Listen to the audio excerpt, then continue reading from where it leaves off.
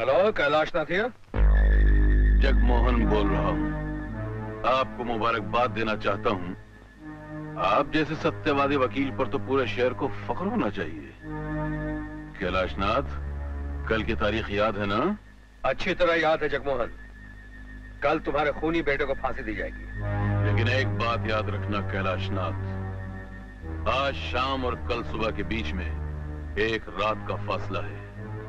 और इस रात मैं तुम्हारी ज़िंदगी में ऐसा अंधेरा भर दूँगा कि तुम सारी ज़िंदगी रोशनी के लिए तड़पते रहोगे।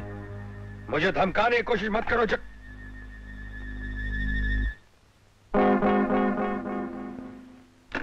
जगमोहन का फ़ोन था ना?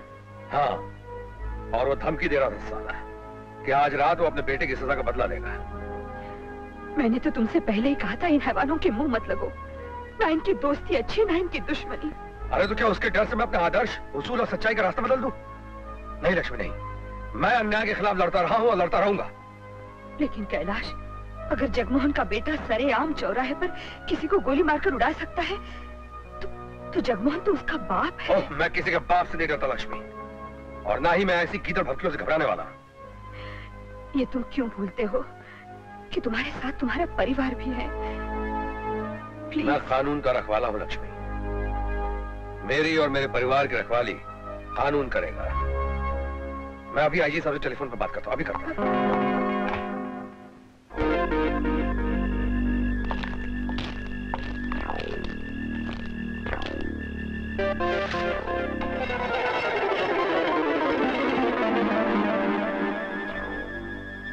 वो यहाँ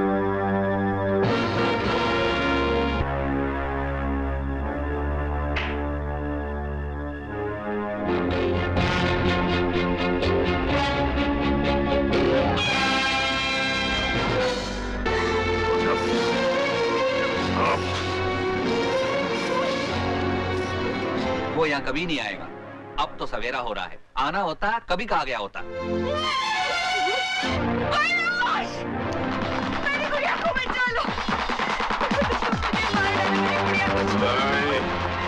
आइए कैलाश बाबू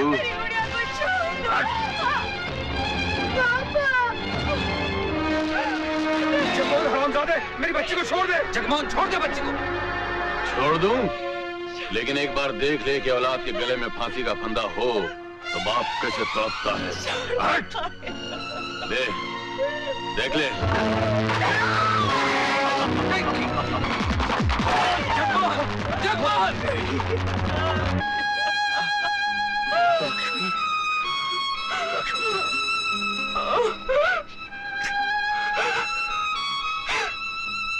मेरी बेटी चली गई। मैं भी अपनी बेटी के पास जा रही हूँ। नहीं लक्ष्मी। नहीं लक्ष्मी। वहाँ उसे माँ का प्यार नहीं मिलेगा।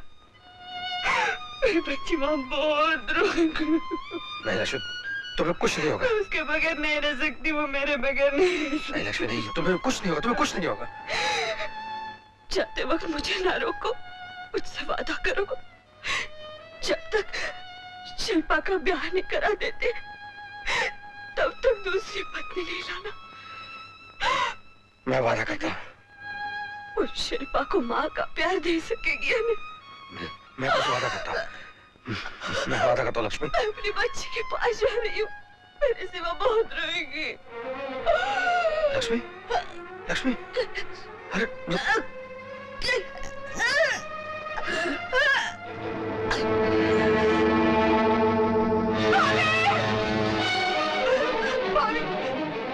छोड़ के मत जाओ। भैया भैया, ये क्या हो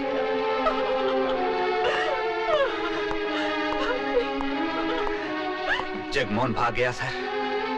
लेकिन वो इतनी दूर नहीं भाग सकता, जहाँ कानून के हाथ न पहुँच सकते हो।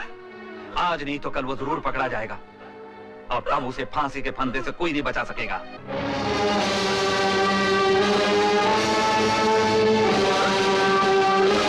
मिस्टर कैलाशनाथ का कहना है कि आप उस कत्ल के चश्मदीद गवाह हैं? जी हाँ। इसका मतलब आपने खूनी को भी देखा होगा? जी हाँ। तो फिर वो कातिल कौन था इंस्पेक्टर वर्मा? मैंने खूनी को देखा था मगर भागते हुए पीछे से मैं उसकी सूरत नहीं देख सका। इंस्पेक्टर वर्मा झूठ बोल रहे हैं ऑनर जज साहब इंस्पेक्टर वर्मा से मैं चंद सवाल करना चाहता हूँ। इजाज़त है? इंस्पेक्टर वर्मा? जी। आप मुझे तो पहचानते हैं ना? जी हाँ मैंने आपके यहाँ ड्यूटी दी थी। तो फिर आप सच क्यों नहीं बोलते? कि आपने खुद चिल्ला चिल्ला कर जगमोहन से मेरी बच्ची को छोड़ देने कहा था? आपने दरवाज़ा तोड़कर जगमोहन का पीछा भी किया था? और जब ये लौट कर आया तो मुझसे कहा था कि जगमोहन कानून के हाथों कभी नहीं बच सकता। तो फिर आप क्यों मुकर रहे हैं आप? क्यों? आखिर क्यों मुकर रहे हैं आप? आपके ऊपर शायद दबाव डाला जा रहा है या आप रुपयों से खरीदे जा चुके हैं? काबिल वकील साहब के ये अल्फाज हमारे पूरे डिपार्टमेंट की तो ही नहीं मिला। जो मुझ जैसे ईमानदार ऑफिसर पर गलत इल्ज़ाम लगा रहे हैं। मैं आप पे इल्ज़ाम नहीं आपको आपकी ज़िम्मेदारी का एहसास दिला रहा हूँ इंस्पेक्टर वर्मा। आपके कंधों पे कानून की ज़िम्मेदारी है। आपके भरोसे में कानून की सांस चलती है। झूठ बोलकर कानून का दम मत तोड़िए।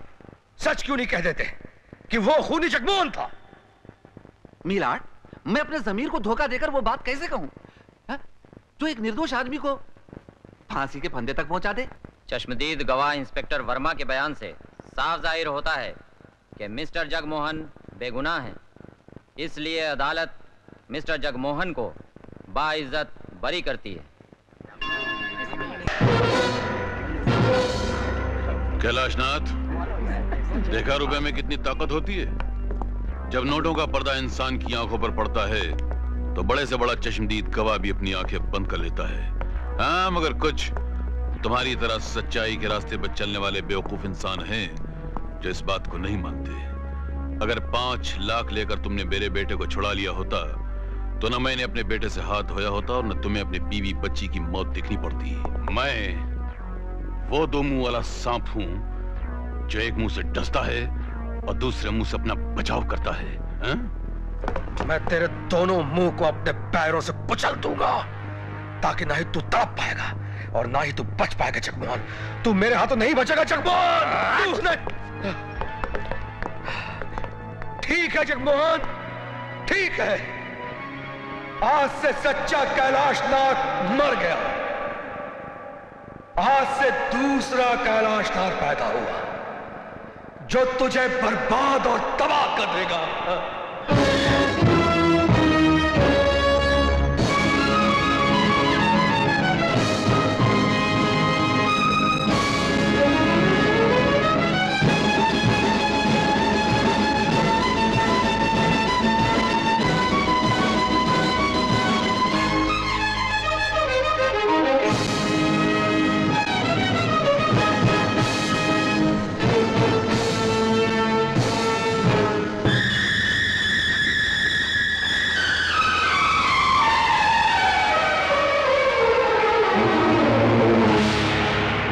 सीधा साधा हर इंसान होता है वो फूल समा।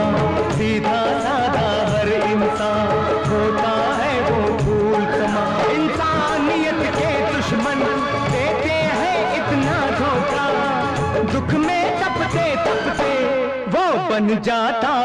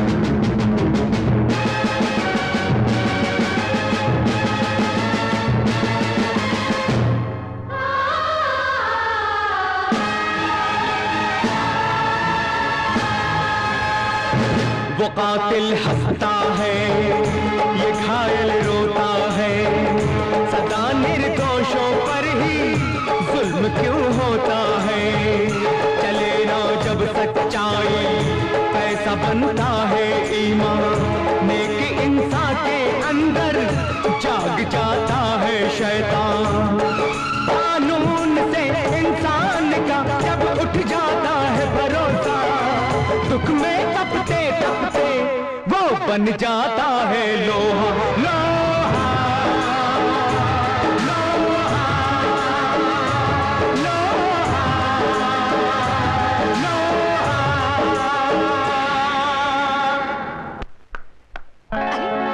मैनेजर। जी मैडम। कहाँ है तुम्हारी सेल्स गर्ल जिसने मेरा पर्स उड़ाया है? मैडम मैंने? मैंने तो आपका पर्स देखा तक नहीं। अगर तुमने मेरा पर्स नहीं देखा तो क्या सोफा खा गया? फ़ौरन पुलिस को बुलाओ इसकी तलाशी लो। मैं गरीब लड़की हूँ, मैडम। यहाँ मेहनत करके अपना और अपनी माँ का पेट पालती हूँ। मैं भला आपका पर्स क्यों चुराऊँगी? अरे गरीब तो चोर होते ही हैं। क्योंकि तनख्वाह के रुपये से तुम्हें ऐशो आराम तो नहीं मिल सकता ना? पुलिस के आने से पहले मैं तुम्हारी तलाशी लेती हूँ। शिल्पा, ये क्या कर रही है? अरे इसने मेरा पर्स चुरा लिया। अरे तेरा पर्स तो मेरे पास है। ये देख, मेरे सामान की लिस्ट भी इसी में थी तो इसे मैंने अपने पास रख लिया। तूने खामखा इस पे शक किया। Okay okay. ओके ओके कहने से काम नहीं चलेगा मेम साहब। आप यहाँ से बाहर तभी जा सकेंगी जब आप उस लड़की से माफ़ी मांग लेंगे। माफ़ी? फॉर व्हाट आपने उस गरीब लड़की की बेजती की है। ओ shut up and get lost तुम जानते हो तुम किससे बात कर रहे हो? मेरे भैया यहाँ के सबसे बड़े लॉयर हैं। लॉयर है तो क्या कानून उन्होंने आपके पर्स में रख दिया? और आपको हिदायत दी है कि आप जब चाहें किसी गरीब की बेजती कर दें और माफ़ी भी ना मांगे। अगर ना मांगू तो? तो मैं ज़बरदस्ती माफ़ी मंगवा सकता हूँ। इतनी हिम्मत तुम्हारी? जरा ज़बरदस्ती करके तो दिखाओ।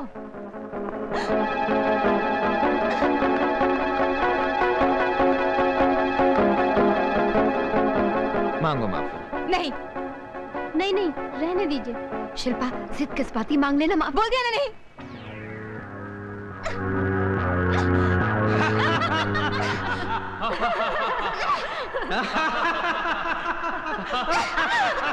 bloody idiot! तुम्हारे जैसे दो कौड़ी के आदमी ने इतने लोगों के सामने मेरी बेइज्जती की मैं इसका बदला ज़रूर लूँगी I hate you! I hate you! I hate you! Hate तो ऐसे करें जैसे मैं इनसे प्यार करता हूँ सर खबर मिली है जगमोहन विदेश भाग गया जिस दिन वो इस देश में कदम रखेगा उसकी सबसे पहली खबर मुझे मिलनी चाहिए। नमस्ते वकील साहब। क्यों प्रताप सिंह जी?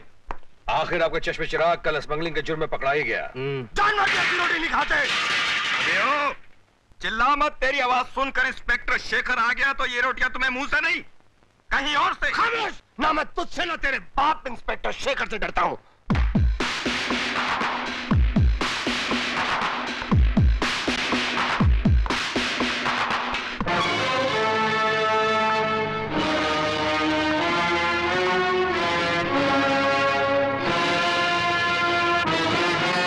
ये खाना क्यों फेंका? तुम मुझे खाना खाने पे मजबूर नहीं कर सकते इंस्पेक्टर। स्मगलिंग की कमाई से फाइव स्टार होटलों की रोटियाँ बहुत अच्छी लगती हैं तुम्हें। आज जरा हवालात की रोटियाँ तोड़कर देख लो। मैंने एक बार कह दिया ना नहीं खाऊँगा तो नहीं खाऊँगा। नहीं खाओगे? बब्बुआ? नहीं। साले! हरामखोर! हलाल की कमाई का एक दाना तुम्हारे अंदर क्या होता? तो आज इस रोटी की कदर करते। आज यही रोटी मैं तुम्हें खिलाऊँगा।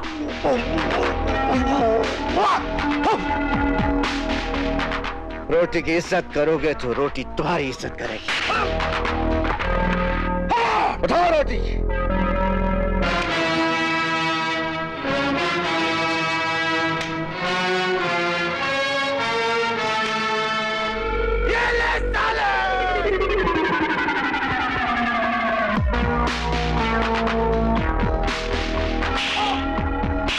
करो इंस्पेक्टर बहुत हो चुका। अब तुम मेरे मुअक्कल पे हाथ नहीं उठा सकते। ये रहे इसकी जमानत के कागजात। इसे फ़ौरन रिहा करो। काश आप जैसे वकीलों का सायन मुजरिमों के सर पर नहीं होता तो मैं इनकी धज्जियाँ उड़ा देता। ओहो तो आप ही हैं वो मशहूर इंस्पेक्टर शेखर कपूर जिसके अक्सर चर्चे होते हैं। ताज्जुब की बात है आप जैसे छात्रों की महफिल में हमारे जैसे इंस्पेक्टरों का ज़िक्र भी होता है। दरअसल बात यह है इंस्पेक्टर शेखर की बेईमानों की महफिल में ही ईमानदारों का ज़िक्र होता है। आइए चलकर हम कागज़ी कार्रवाई कर लें। तुम जा सकते जाइए आपके वो आ गए क्या कहते हैं गॉड फादर जाइए। जाइए कहाँ जा रहे हो? ठुमक ठुमक करते कहीं नहीं भैया यूँ ही छोटा सा काम याद आ गया। हम पुलिस वाले चाल से भांप लेते हैं कि मजनू लैला से मिलने जा रहा है शशि से मिलने जा रहा है। हाँ वही जा रहा हूँ भैया लेकिन कान तो छोड़िए ना। लो छोड़ दिया। आशिक राम शशि से मिलने जा रहा है ना? एक काम कर ये ले दस रुपए ले जा एक गजरा लेके जाना उसके लिए। नहीं भैया वैसे ही कुछ कमाता वमाता तो हो नहीं। ऊपर से ये सब मुझसे नहीं होगा। अरे भैया कमाता वमाता तो हो नहीं। अरे कौन कहता तुझे कमाने के लिए? तेरी उम्र कमाने की है? तेरी उम्र तो खेलने की है रोमांस करने की धमाल करने की। ये ले। भैया है मेरी जेब में पैसे? और मैं चलता हूँ। ओ ले जाना अरे ये घर उसके पास पैसे होंगे नहीं तो वो ज़रूर ले जाता। मगर एक कायदा समझ में नहीं आया कि तुम अपने छोटे भाई को तो लेटेस्ट डिज़ाइन के कपड़े पहनाते हो और खुद पैबंदा के कपड़ों पे गुजारा करते हो। मुझे क्या फ़र्क पड़ता है जिला साहब? कैसे भी कपड़ों में चलता है लेकिन प्रकाश के कपड़ों को दाग भी लग जाए। तो दिल दुखी हो जाता है। कमाल है। कभी तो तुम बड़े भाई हो जाते हो कभी बाप का हक अदा करते हो कभी दोस्त बन जाते हो। शेखर ये सब तुम इसलिए तो नहीं करते कि वो तुम्हारा सौतेला भाई है? इस मासूम को तो इल्म ही नहीं कि हम दोनों सौतेले भाई हैं। छोटा सा था। माँ ने मरते वक्त मुझसे वचन लिया था कि आज से तू ही इसका बाप भाई माँ दोस्त सब कुछ है। सक्सेना साहब मैंने कसम खाई है। जब तक इसका घर नहीं बस जाता मैं शादी नहीं करूँगा। भैया। अरे तू गया नहीं अभी तक? नहीं भैया जब बस स्टॉप पे पहुँचा और जेब में हाथ डाला तो पता चला कि जाने के लिए भी पैसे मैं नहीं। सब समझता हूँ तू शर्मा गया सक्सेना साहब की वजह से। अरे ये अपने गाँव के इनके सामने क्या शर्माना है? गधा कहीं ये ले बीस रुपए। टैक्सी में जाना। अरे प्रकाश ये ये क्या कर रहा है तू? उठ पगला कहीं का सोचा था जाते जाते मंदिर में भगवान के दर्शन करूँगा। लेकिन आपके चरणों को देखकर भगवान ही याद आ गया भैया। भैया। ए, तू मुझे भगवान कह के रुलाना चाहता है, हैं? खबरदार ऐसी हरकत दोबारा की तो। चल देर हो रही है चल हाँ हाँ। ना तो तुम कुछ कह सकते हो और ना कर सकते हो। अरे हज़ार बार कह चुकी हूँ मेरे भैया से बात कर लो। मगर तुम्हारे कानों पर तो जू तक नहीं रेंगती। शशि मेरे भैया के कानों में तो जू कब की रेंग चुकी है? वो तो तुम्हें अपने घर की बहू मानते हैं। अरे मानने से क्या होता है? जब तक तुम मुझे विदा करके नहीं ले जाओगे मैं तुम्हारे घर की बहू नहीं बन सकती हूँ। और इसके लिए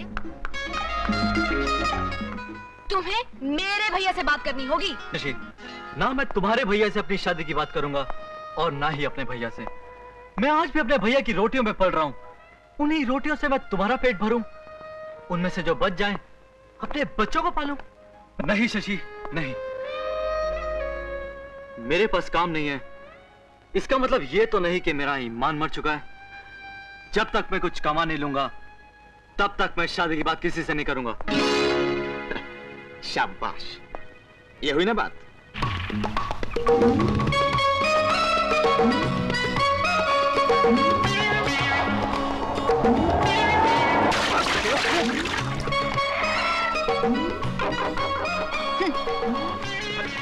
योगेंद्र रुक जा यार। अजय भाई ये क्या हुआ? अरे कुछ नहीं। जरा तू पकड़ इसे। दो मिनट के लिए मोटरसाइकिल दे। हुआ क्या? अरे कुछ नहीं हुआ। इसकी तो क्या कर रहे हो। ओफो गाड़ी को भी अभी खराब होना था।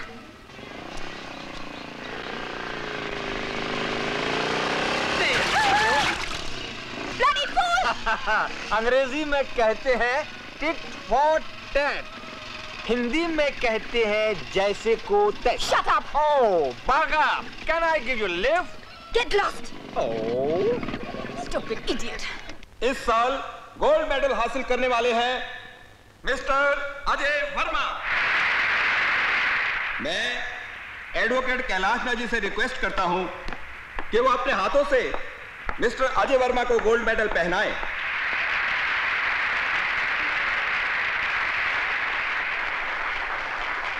कल तक आप लोग कानून के विद्यार्थी थे। मगर आज से आप लोग एक नई ज़िंदगी में कदम रखने जा रहे हैं। ये जो डिग्री आपको दी गई है, महज डिग्री नहीं, बल्कि एक तलवार है, जिससे समाज में फैली हुई हैवानियत को खत्म करते हुए कानून की हिफाजत करना है।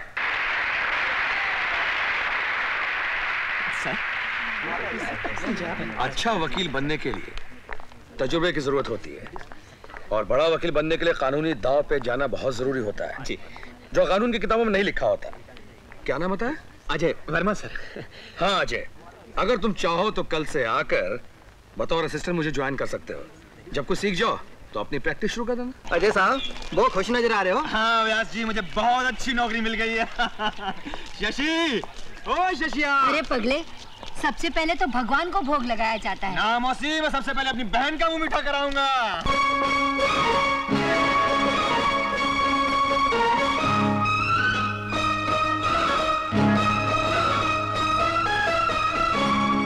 नाम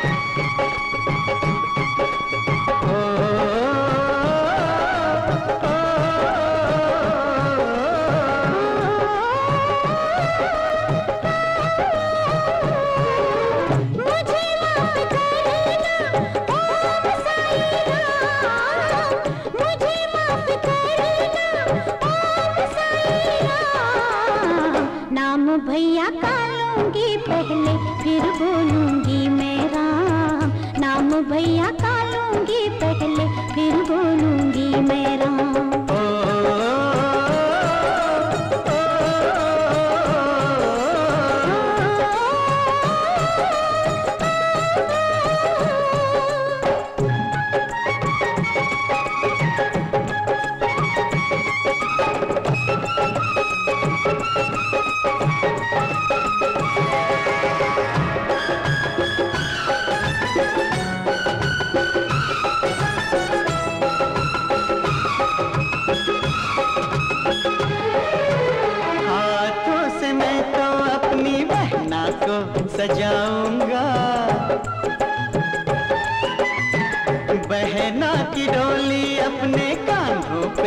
उठाऊँगा।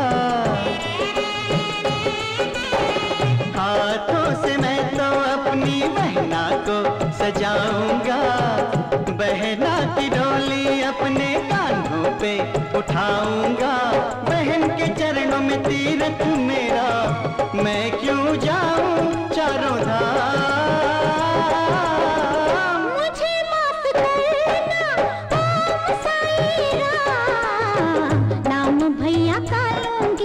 पहले फिर बोलूँगी मैं राम। नाम बहना का लूँगा पहले फिर बोलूँगा मैं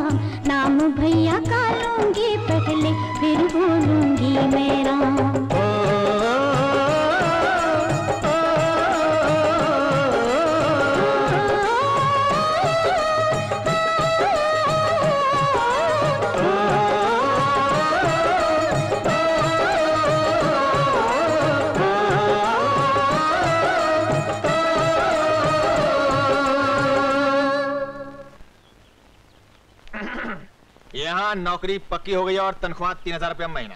वेरी गुड अब तुम देखना मैं शशि की शादी कितनी धूमधाम से करता हूँ। क्यों नहीं यार तू एक बात बता। तू पुलिस का इतना बड़ा अफसर है। प्रकाश को अच्छी से नौकरी नहीं दिलवा सकता? मैं भाई हूँ दुश्मन नहीं। क्यों? जब पुलिस में होकर मैंने किसी की सिफारिश नहीं सुनी तो अपने भाई की सिफारिश क्यों करूँ? मैं चाहता हूँ वो अपने बलबूते पर तरक्की करे किसी का मोहताज बनकर नहीं।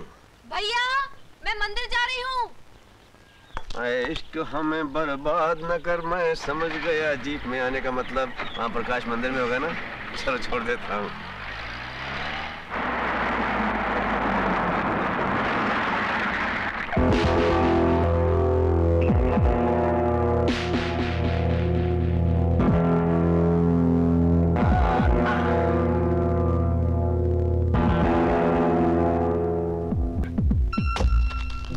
सलाखों के पीछे तुमने अपनी शक्ति दिखाई थी।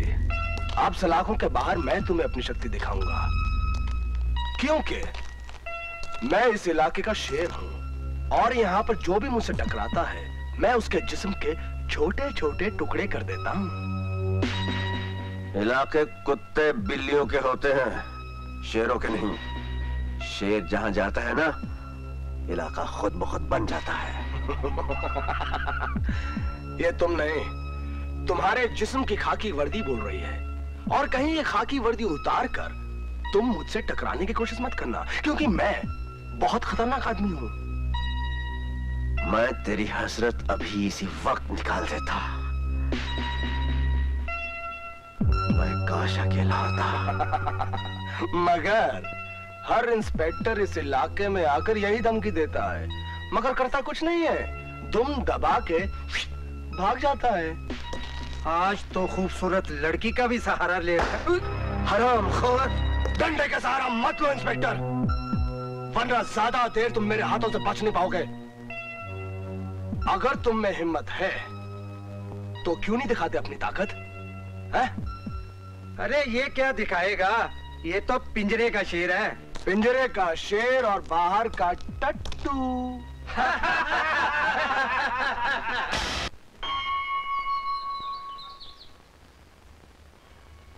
मैं जानती हूँ आज अपने गुस्से को काबू में क्यों रखा था।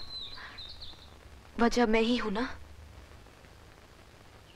शशि, तूने मेरे सबर की इंतहा देखी है।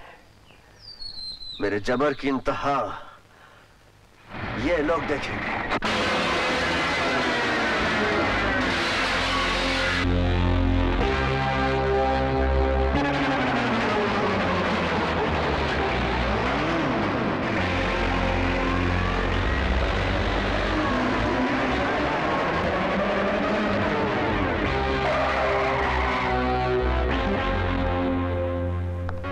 शक्ति तुमसे कहा था शेरों के इलाके की कोई हद बंदी नहीं होती। वो जहाँ चाहते हैं अपना इलाका खुद बना लेते हैं। आज मैं यहाँ तुम्हारे इलाके में आ गया हूँ। गलत। ये तुम नहीं तुम्हारी सितारों वाली वर्दी बोल रही है। जिसे गीदड़ भी पहन ले तो वो भी शेर की तरह धाड़ने लगता है। इस वर्दी से डर लग रहा है? इन सितारों से डर रहे हो? लो। तुम्हारी ये मुश्किल भी आसान की देते हैं। लेकिन एक बात सुन लो। अगर वर्दी के साथ मैं शेर नज़र आता हूँ तो बगैर वर्दी के मैं पवर शेर हूँ। और अब तुम मेरे पंजे से नहीं बच सकते। बड़ा इसमें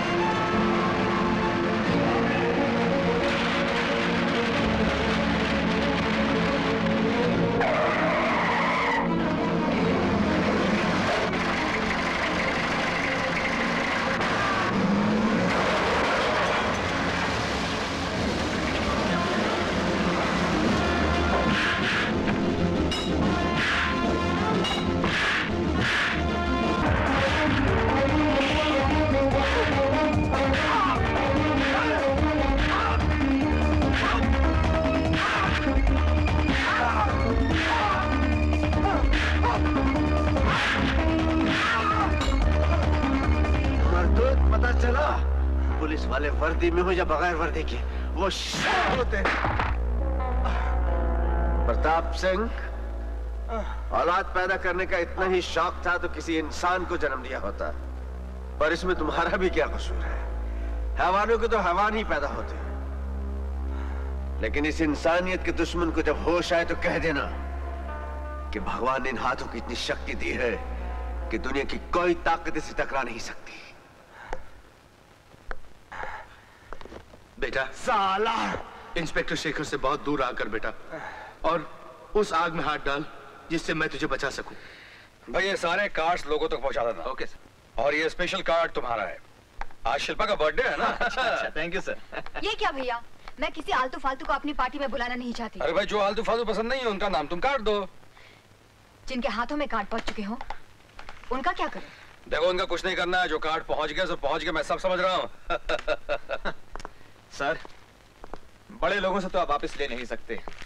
छोटे लोगों से तो आप कार्ड छीन भी सकते कैसी बातें कर रहे हो? तुम्हारे बारे में थोड़ी कह रही वो शरारती लड़की है पागल है वो मेरी बहन को जानती भैया नहीं? भैया मैं आपको बताना भूल हाँ। मैं खंडाला जा रही हूँ छह बजे वापस आऊँगी। अरे सुनो सही तुम खंडाला भैया पार्टी शुरू होने से पहले आ जाऊँगी ओके? टेक केयर बाय अरे मेरी बात तो सुन बाय भैया। एक लौती लाडली बहन है जय। दो पल की जुदाई बर्दाश्त नहीं कर सकता। शादी के बाद जब दूसरे घर चली जाएगी बरसों की जुदाई कैसे बर्दाश्त करूँगा? छी। मोना एक अच्छा पोज दोगी तुम? वन गुड पोज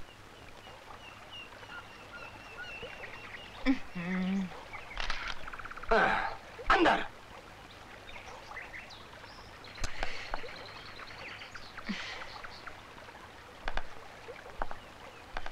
हाथ ऊपर क्या कर रही हो तुम? तुम्हें पोज नहीं देना आता?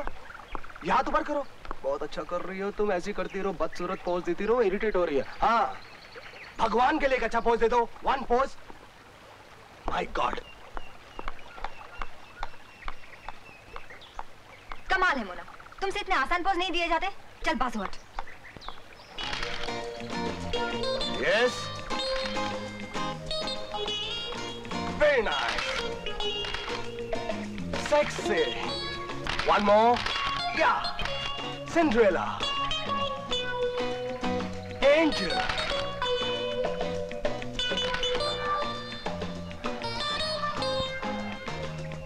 Oh, hmm? very good, very pretty face. Hmm.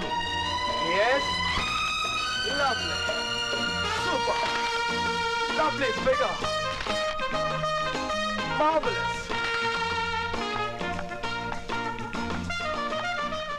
Was it okay?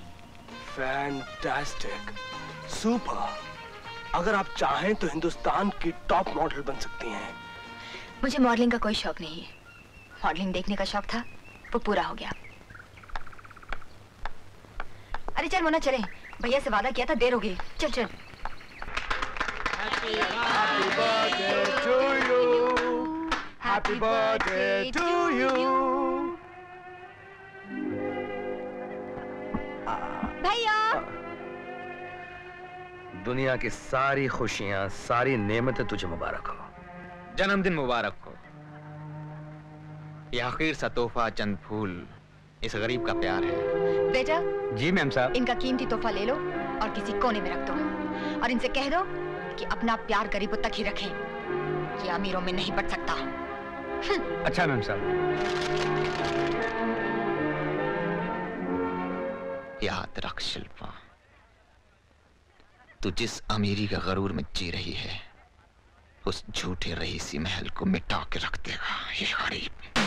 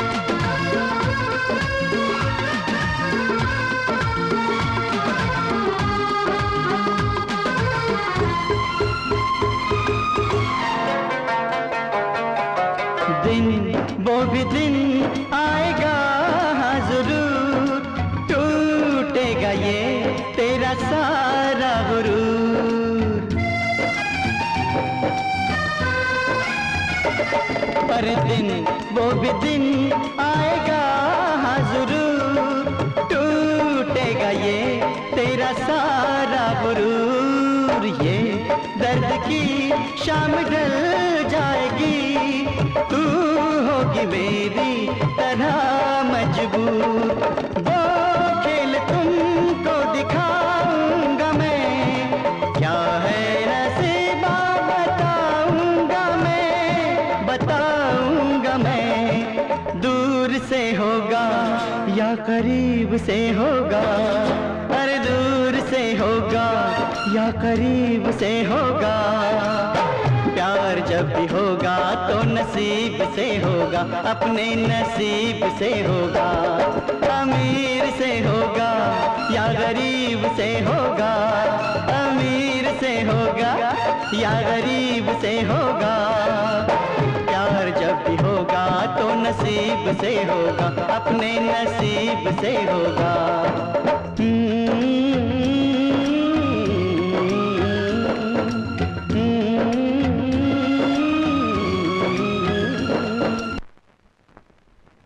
Thank you Mona darling जो चिड़िया अपने पर सीधे से ना काटने दे उसके पर बेहोशी के आलम में काटने पड़ते हैं।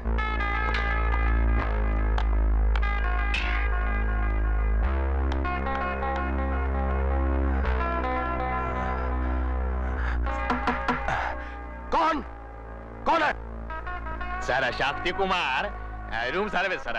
मुझे कुछ नहीं चाहिए मैंने कोई ऑर्डर नहीं किया है। Okay sir.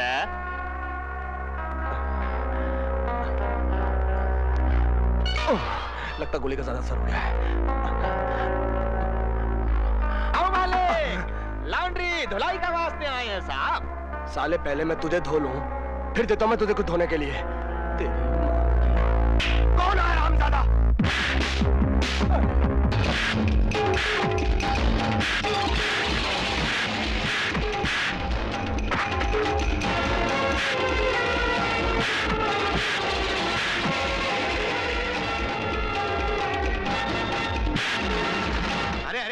ये क्या हो रहा है सब? आपका ये कपूत हर किसी की इज़्ज़त को एक खिलौना समझता है। कहीं ऐसा ना हो सिंह साहब कि एक दिन इसकी ये करतूतें आपकी इज़्ज़त को सरे बाज़ार नीलाम कर दें। बास्टर्ड।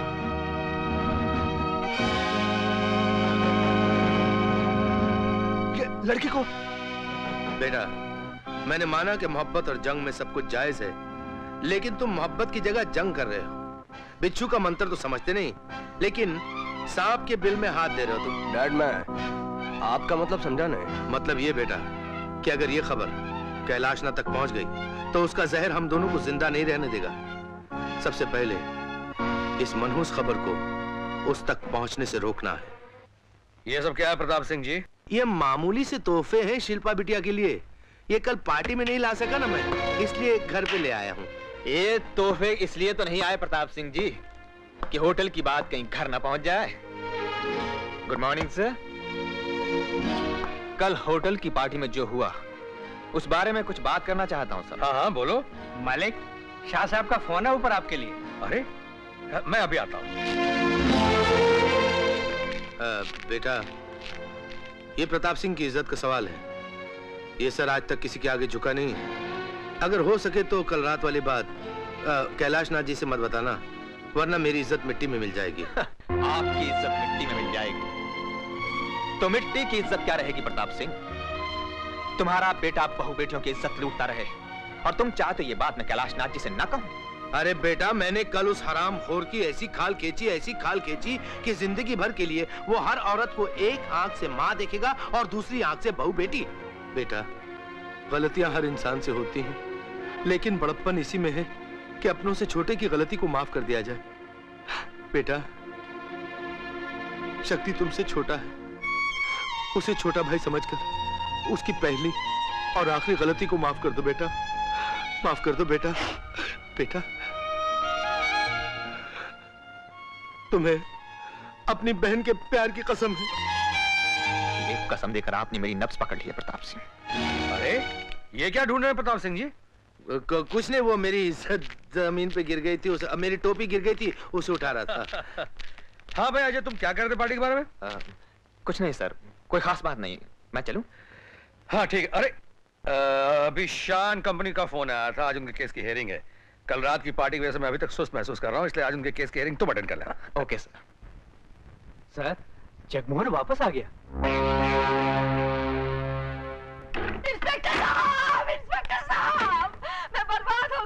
लुट गई मैं लुट गई। मैं विधवा हो गई। उस जालिम ने मेरे पति को उठाकर जलती भट्टी में झोंक दिया। कौन है वो? जगमोहन। जगमोहन जी मैं तो आपके चरणों का दास हूँ। और इलेक्शन के बाद जो कुर्सी आपको मिलेगी ना उसका दास तो मैं पहले से ही हूँ कसम से। मैं भी उसी दिन का इंतज़ार कर रहा हूँ दास बाबू। जब इलेक्शन जीतने के बाद सीमेंट के परमिट की जगह आपको पूरी एजेंसी दिलवा दूँ। क्या बात कह दी आपने कसम से? हम दो बाप से पैदा हुए हैं। क्या मतलब? अब, म, म, मेरा मतलब है अलग अलग घर में पैदा हुए तो क्या हुआ? लेकिन अपना रिश्ता तो सगे खून से भी बढ़कर है कसम से। आप अंदर नहीं जा सकते।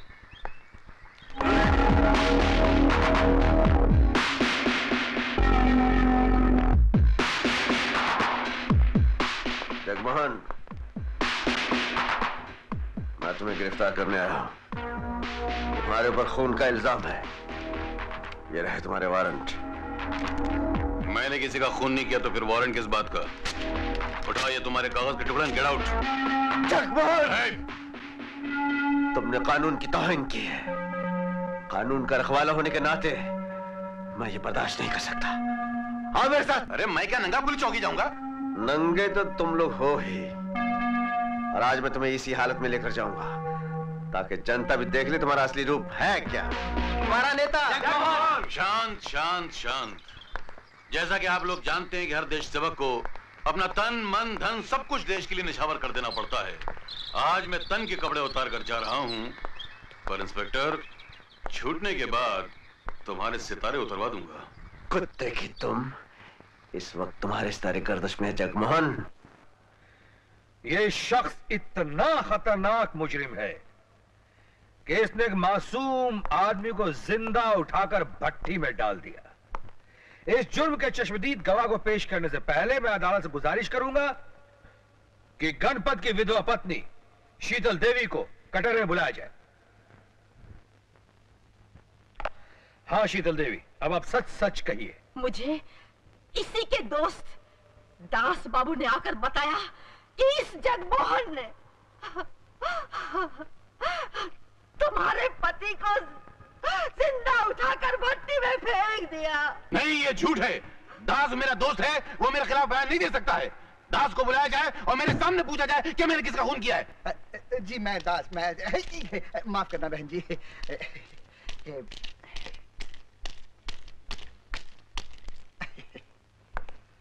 No mister Das no very bad आपको कोर्ट में थूकने की इजाज़त नहीं है। कसम से आप भी कमाल की बात करते हैं वकील साहब। ऐसे खूनी पर थूकू नहीं तो क्या इसकी आरती उतारू? दैट्स अ पॉइंट अबे ओ कमीने दास कल तक तो मेरे तलवों का दास था आज मेरे को खूनी बोल रहा है। मिलॉर्ड पहले मैं मिस्टर दास से कोई सवाल पूछना चाहता हूँ। इजाज़त है। क्या बता सकते हैं एन खून के वक्त आप मिस्टर जगमोहन की फैक्ट्री में कैसे पहुँचे? कसम से जब पता लगा कि सेठ जगमोहन इलेक्शन के लिए खड़ा हो रहा है तो एक दोस्त के नाते इस कुत्ते को चंदा देने गया था। तो फिर वहाँ क्या हुआ? बड़ा गजब हो गया जज साहब।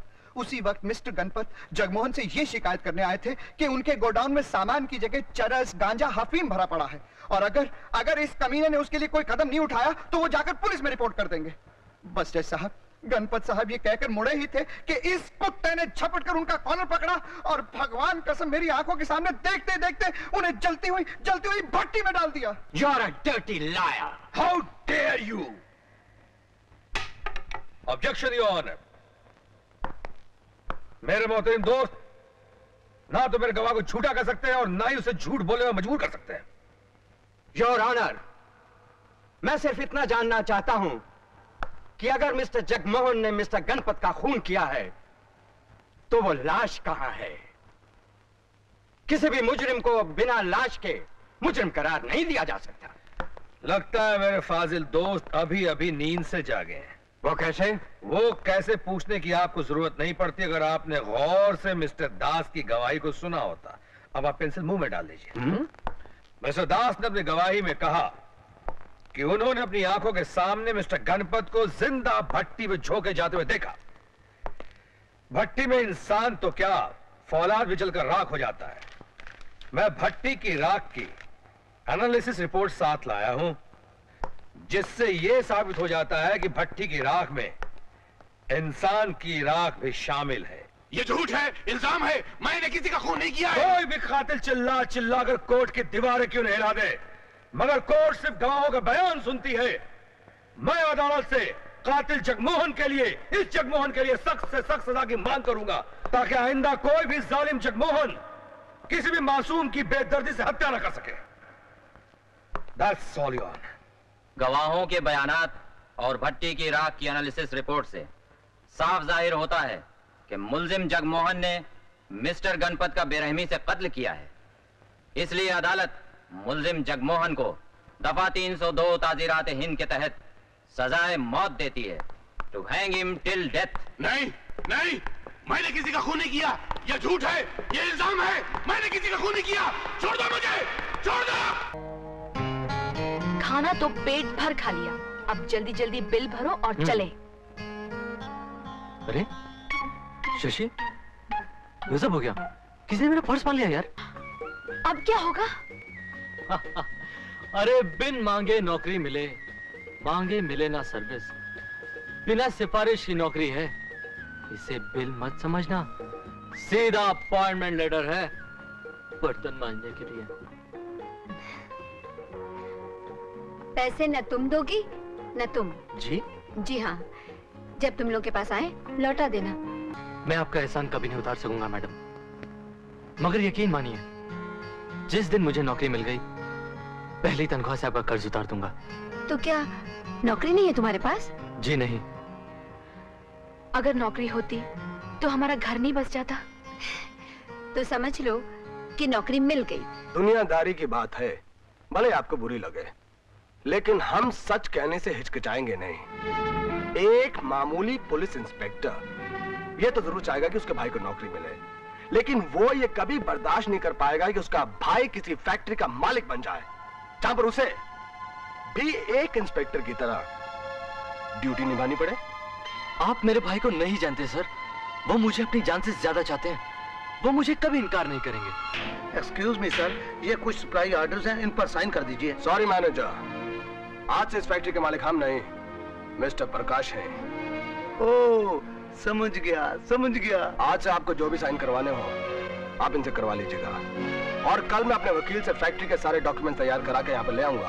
आप उन पर भी इनके साइन करवा लीजिएगा। Thank you Shakti ji. Thank you very much ये क्या किया शक्ति डार्लिंग उसे उठा के सीधा फैक्ट्री का मालिक ही बना दिया? मोना डार्लिंग मालिक हम हैं और हम ही रहेंगे। प्रकाश तो वो कंधा है जिस पर रख कर हम अपनी बंदूक चलाएँगे और जिसका पहला निशाना होगा इंस्पेक्टर शेखर और दूसरा मिस शशि। ओ मेरी सोनिए ओ मेरी हीरी ओ मेरी हीरी ओ मेरी सोनिए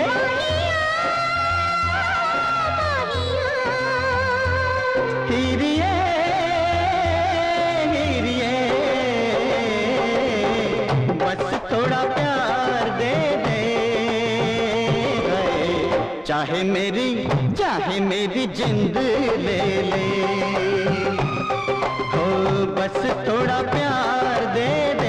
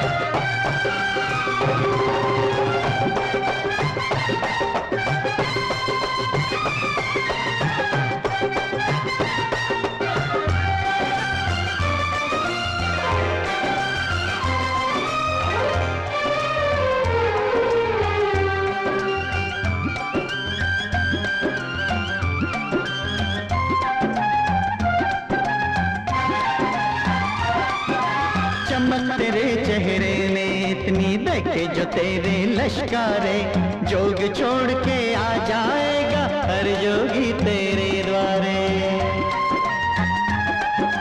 चमक तेरे चेहरे में इतनी देखे जो तेरे लश्कारे जोग छोड़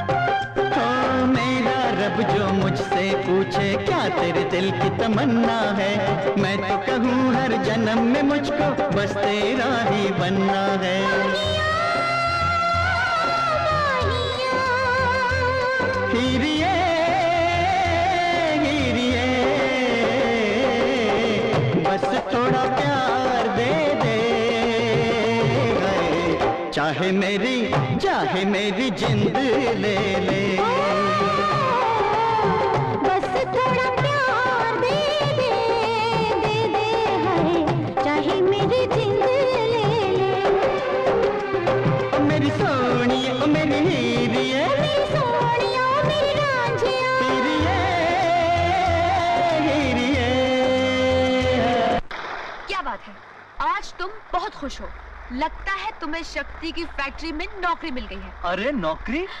नहीं, शशि, आज मैं उस फैक्ट्री का मालिक बन गया, मालिक।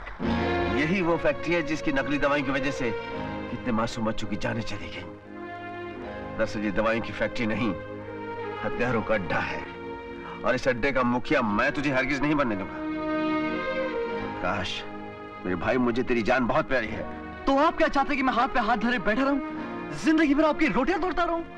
ये रोटियाँ तोड़ने की क्या बात करता है रे? हैं? ये जो कुछ मैं कमा रहा हूँ तेरा नहीं क्या? ये सब कुछ तेरे लिए तो कर रहा हूँ मैं। लेकिन रुपया कमाने का ये मतलब नहीं, तू गलत रास्ता अख्तियार कर ले। गुनहगार का दूसरा पैर जेल की कोठड़ी में होता है। प्रकाश, मैं नहीं चाहता ये हाथ जो ज़िंदगी भर तुझे प्यार करते रहे। एक दिन तुझे हथकड़ी पहनाने के लिए उठाने पड़े। अरे पगले हराम के लजीज पकवानों से हलाल की रूखी सूखी में ज़्यादा बरकत होती है। क्या आपके डिपार्टमेंट में सभी लोग सच्चे हैं? क्या उनमें कोई बेईमान नहीं है? मैं मानता हूँ चंद लोगों की वजह से हमारा डिपार्टमेंट बदनाम ज़रूर है। लेकिन इसी डिपार्टमेंट में तुम्हारा भाई भी है जिसकी ईमानदारी जिसकी वफादारी की लोग कस्में खाते हैं। ईमानदारी और वफादारी की तनख्वाह बीस तारीख को खत्म हो जाती है भैया। और फिर आप पहली तारीख का इंतज़ार करते हैं है ना? इसे ईमानदारी और वफादारी का एक बुढ़ापा भी होगा, जिसमें आपको एक छोटी सी पेंशन मिलेगी जिसे आप दो वक्त की रोटी भी नहीं खा सकेंगे भैया। ना मैं ईमानदारी की मोहताज जवानी देखना चाहता हूँ और ना ही वफादारी का बुढ़ापा। भैया, मैंने फैसला कर लिया है कि मैं वही काम करूँगा। बड़े भाई के होते हुए फैसला करने वाला तू कौन है रे? इस तबाही के रास्ते पर मैं किसी गैर को न जाने दूँ। फिर तू तो मेरा अपना भाई है। इस रास्ते पर मैं तुझे हर किस नहीं जाने दूँगा। तो साफ़ क्यों नहीं कहते कि आप मेरी तरक्की देखना ही नहीं चाहते? ये तू क्या कह रहा है? अरे मैं तो तुझे उन ऊंचाइयों पर देखना चाहता हूँ जहाँ कोई भी ना तेरी हैसियत मेरी हैसियत से कहीं ज़्यादा बड़ी हो। लोग तुझे इंस्पेक्टर शेखर का छोटा भाई नहीं बल्कि मुझे कहें ये प्रकाश का बड़ा भाई है। भैया फिर ऐसा सुनहरा मौका हाथ से मत जाने दीजिए। सारी दुनिया आपको मेरे नाम से जानेगी। जब उन्हें ये पता चलेगा कि इंस्पेक्टर शेखर का छोटा भाई इतनी बड़ी फैक्ट्री का मालिक बन गया। प्रकाश मैं तुझे किसी फैक्ट्री का मजदूर देखकर ज़्यादा खुश हूँगा पर इसमें इसके कि तू उस खूनी फैक्ट्री का मालिक बने। असलियत तो अब आई है आपकी ज़ुबान पे।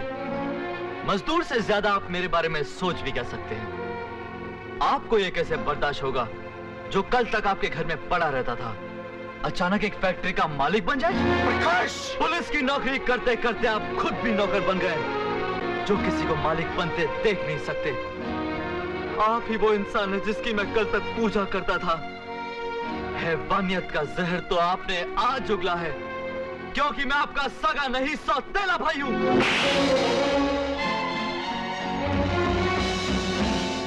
सच कितना कड़वा होता है। जब बर्दाश्त नहीं होता तो इंसान का हाथ उठ जाता है। मैं ये घर छोड़ के जा रहा हूँ। प्रकाश!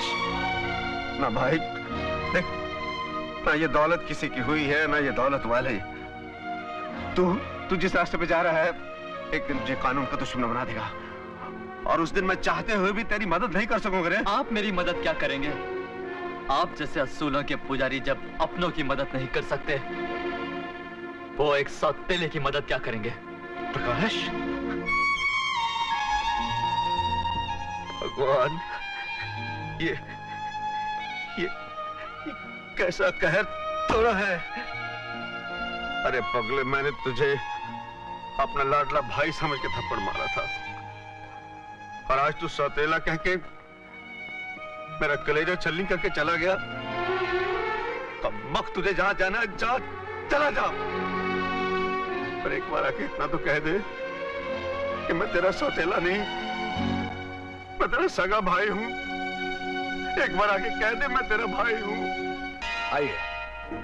उस दिन इंस्पेक्टर के साथ जो मेरा झगड़ा हुआ था वो झगड़ा देखने के बाद आपको ऐसा लगा होगा कि मैं एक नंबर का गुंडा बदमाश और मवाली आदमी हूँ। ऐसी कोई बात नहीं। लेकिन यकीन मानिए शराफत और शक्ति एक ही इंसान के दो नाम हैं।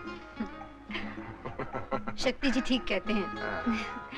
Excuse me sir mister Prakash का फ़ोन है। आपका phone. Excuse me I just come वैसे एक बात कहूँ शशि जी। प्रकाश एक बहुत बड़ी फैक्ट्री का मालिक होने के साथ साथ एक बहुत बड़ी तकदीर का भी मालिक है। क्योंकि उसे आप मिल गई हैं। एक्सक्यूज मी मुझे आधे घंटे के लिए फैक्ट्री जाना पड़ेगा। किस कंपनी का माल है? ये मालिक है इसका माल हम कुछ नहीं जानते सरकार। हम तो हुक्म के गुलाम हैं। जल्दी बोल वरना तेरी जान निकाल लूँगा हम करेंगे। कौन मालिक है इसका? कहता हूँ हम कुछ नहीं जानते। इंस्पेक्टर ये क्या सलूक करे मेरे मैनेजर के साथ? यही है हमारी फैक्ट्री के मालिक इंस्पेक्टर साहब। पकड़ना है तो इनको पकड़िए। तो ये सब काली करतूतें वहीं से हो रही हैं जिस फैक्ट्री के मालिक तुम हो। क्या बात है भैया? कोई भैया भैया नहीं। इस वक्त मैं एक इंस्पेक्टर की हैसियत से आया हूँ। और तुम्हें स्मगलिंग के जुर्म में गिरफ़्तार करता हूँ। स्मगलिंग? कैसी स्मगलिंग? इधर आ। अपनी आँखों से खुद देख। ये दवाएँ तुम्हारी फैक्ट्री से सप्लाई हो रही हैं हाँ? ये मेरे साथ धोखा हुआ भैया। मैं इसके बारे में कुछ नहीं जानता। ओहो तो तुम्हारे साथ धोखा हुआ है। तुम्हें इस बात का कोई इलम नहीं है। हथकड़ी लगाओ ऐसे आपने सच कहा था भैया। मुझे आज इस बात का एहसास हो गया। मेरा नाम इंस्पेक्टर शेखर है। लेकिन इंस्पेक्टर की इस वर्दी के पीछे मेरा एक बड़ा भाई रहता है जिसकी नेक सलाह और इंसानियत को मैं ठोकर मार कर आया था। उसे सिर्फ़ इतना कहना कि उसका भाई निर्दोष है। हो सके तो वो अपने छोटे भाई को माफ़ कर दे। प्रकाश किसी काम में उलझ गया होगा। बहुत देर हो गई है। भैया के घर पहुँचने से पहले मुझे पहुँचना चाहिए। इतनी रात का शशि जी आप अकेले घर कैसे जाएँगी? मोना आपको छोड़ देगी।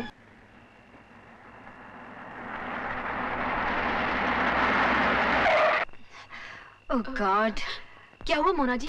पता नहीं क्या हो गया। एक तो तुम वैसे ही लेट हो गई हो ऊपर से एक कम वक्त गाड़ी धोखा दे रही है। पता नहीं समझ में नहीं आता यार ये। थैंक गॉड शक्ति साहब। क्या हुआ मोना? पता नहीं शक्ति साहब अचानक गाड़ी खराब हो गई। आप जरा प्लीज़ मुझे एक फेवर करेंगे? अरे बताइए ना। मैं तो गाड़ी ठीक करके जैसे तैसे घर पहुँच जाऊँगी। शशि को घर जल्दी जाना है अगर आप छोड़ दें तो। अगर आपको कोई तकलीफ़ ना हो। वाई नॉट आइए ना।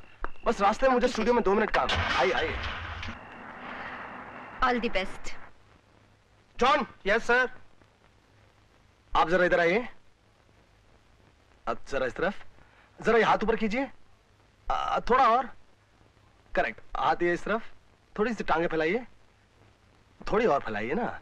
Very good very good very good जरा सा और दीवार के साथ।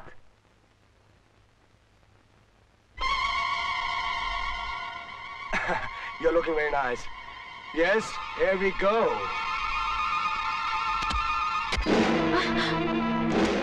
अरे। ओए ओए। ये क्या कर रहे हैं। आपने मुझे जकड़ क्यों दिया? इज़्ज़त उतारने के लिए मेरी जान बगैर हाथ पाँव जकड़े तो तुम अपने बदन पर मक्खी भी नहीं बैठने देती। भगवान के लिए मुझे छोड़ दो। प्लीज़ ऐसा मत करो। तुम्हें भगवान के लिए छोड़ दूँ तो मैं क्या खाऊं? प्रसाद? चिल्लाओ।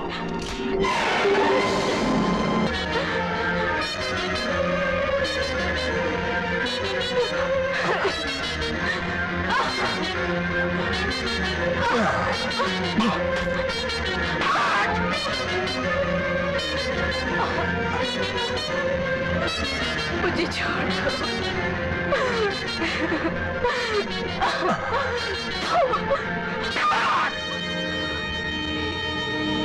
मुझे छोड़ दो।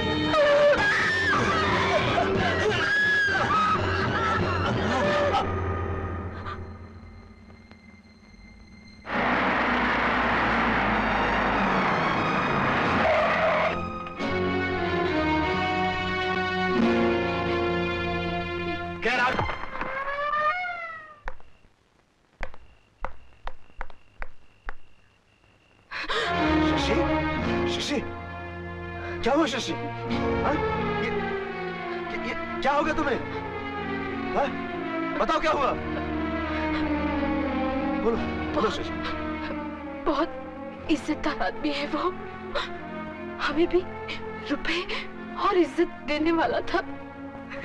सबने निकाल कर इज़्ज़त लूट ली मेरी। मुझे सिर्फ़ उसका नाम बता दो। शक्ति। जो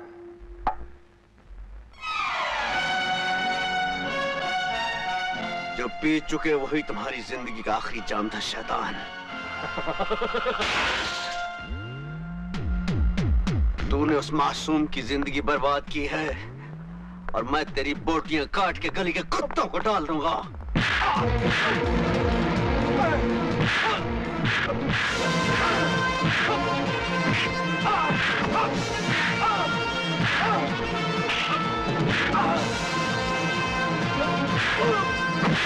हेलो, एसपी साहब। जल्दी आइए, आपका इंस्पेक्टर पागल हो गया। मेरे एक लोटे को मार देगा जान से। जल्दी आइए प्लीज़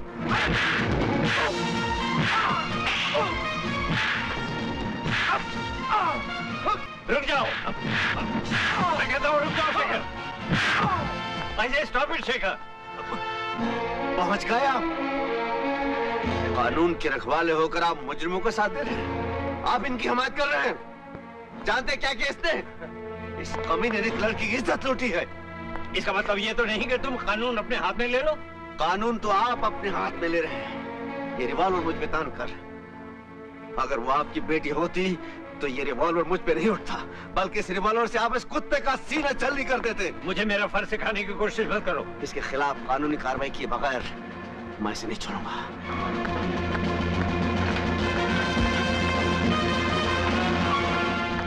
बंद कर साले को। मेरी भलाई तो इसी में थी कि उसके बाद मैं मर जाती। पर दुनिया तो उसके बाद भी कीचड़ उछलने से बाज नहीं आएगी भैया। किस किस का मुँह बंद करोगे? आज उस जानवर ने तुम्हारी बहन की इज़्ज़त लूटी है। कल दूसरे की लूटेगा फिर तीसरे की। सब चुपचाप मरती जाएँगी तो ये सिलसिला कभी खत्म नहीं होगा। क्या करूँ मैं इंसाफ चाहती हूँ भैया। मैं चाहती हूँ तुम्हारा कानून उसे ऐसी सजा दे कि कोई दूसरा दरिंदा किसी औरत की ओर आँख उठाकर भी न देख सके। तुम्हें कैसे समझाऊं? घर की इज़्ज़त अगर घर में है तभी महफूज है। अगर वो कोर्ट कचहरी में चली गई तो नीलाम हो जाएगी। किस इज़्ज़त को नीलाम होने से बचाना चाहते हो भैया? जो पहले लुट चुकी है। अगर तुम मुझे इंसाफ नहीं दिलवा सकते तो फाड़ डालो अपने कानून की किताबों को। जला डालो कोर्ट और कचहरियों को। जो बेबस औरतों को न्याय नहीं दिलवा सकती। तुम्हारी बहन औरत होकर लड़ने को तैयार है। और तुम तुम मर्द होकर बगैर लड़े हार मान गए। अदालत को सबूत चाहिए। अरे पगली, लड़ने से कौन डरता है? ये तो एक भाई डर रहा है कि उसकी बहन का ढिंढोरा पिट गया तो समाज उसे अपनाएगा नहीं। तुम बहू बहू बनकर किसी घर की चौखट पर कदम नहीं रख पाओगी। जब मैं कुआरी ही नहीं रही भैया तो मुझे ब्याता बनने का कोई शौक नहीं और विधवा होने का कोई दुख नहीं। शशि मैं ज़िंदा हूँ। मेरा घर तुझे अपनाएगा। मेरा छोटा भाई प्रकाश तुझसे शादी करेगा। अजय, ये एक औरत के इंसाफ की लड़ाई है। आज से शशि का दुख, दर्द हमारे हैं। तुम सिर्फ़ एक काम करो। उन हरामजादों को घसीट कर अदालत में ले जाओ। ऐसी कड़ी से कड़ी सजा दिलवाओ कि आइंदा ऐसी घटिया हरकत करते वक्त उनका कलेजा काँप उठे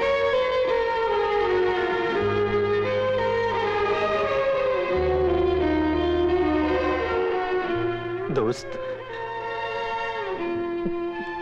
तुमने शशि को अपनाकर तुम इंसान नहीं देवता हो शेखर। मैं देवता नहीं भाई हूँ तुम्हारा। तुम सब मेरे अपने हो।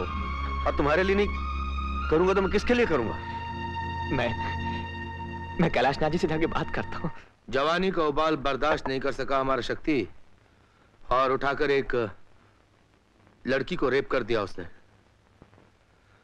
अब इससे पहले कि इसकी हरकत हमारे खानदान की इज़्ज़त पर एक धब्बा बन जाए मैं चाहता हूँ कि आप एक बार हाँ कह दे बस मैं समझ लूँगा कि शक्ति रिहा हो गया है।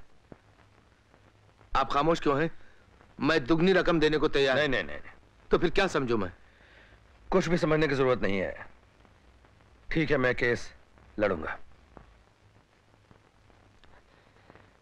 उस हरामजादे शक्ति ने मेरी बहन की इज़्ज़त लूटी है सर। अब अब मेरी बहन की इज़्ज़त वापस लौट तो नहीं सकती मगर आप उस कमीने को सजा दिलाकर उसकी ज़िंदगी को मौत में बदल सकते हैं। मैं मैं तुमसे माफ़ी चाहता हूँ मेरे भाई लेकिन मैं तुम्हारा केस नहीं लड़ सकता। क्यों सर? मैं उससे एडवांस ले चुका हूँ। एडवांस एडवांस लौटाया भी तो जा सकता है सर। हाँ, ये मेरी मजबूरी है। और फिर तुम तो अच्छी तरह जानते हो अजय कि मैं ज़ुबान का कितना पक्का आदमी हूँ। इसलिए मेरे प्रिंसिपल के खिलाफ होगा कि मैं एडवांस लेकर पैसे वापस कर दूँ और उसका केस न लड़ूं। हुँ? और ये आपके प्रिंसिपल के खिलाफ नहीं। कि आप एक गुनहगार का साथ दे रहे हैं। अजय तुम तो वकील हो और अच्छी तरह जानते हो। कि कानून की निगाहों में आदमी उस वक्त तक बेकसूर है जब तक उसका जुर्म साबित न हो जाए। और फिर वो बेगुनाह है या गुनाहगार, इस बात का फैसला तो कोर्ट करेगी। जहाँ तक मेरा सवाल है, मैं उसी की पैरवी करता हूँ, जो मेरी कीमत चुकाता है। आप ठीक कहते हैं, सर। मैं भूल गया था कि आप एक पेशावर वकील हैं। मुजरिमों को पनाह कानून नहीं। आप जैसे वकील देते हैं। आप जैसे वकीलों ने कानून को कोर्ट से खींचकर चौराहों पर लाकर खड़ा कर दिया है। जहाँ उसे नंगा करके उसकी बोली बोली जाती है, उसके दाम लगाए जाते हैं और कानून कानून न रहकर पेशावर रंडी बन जाता है। How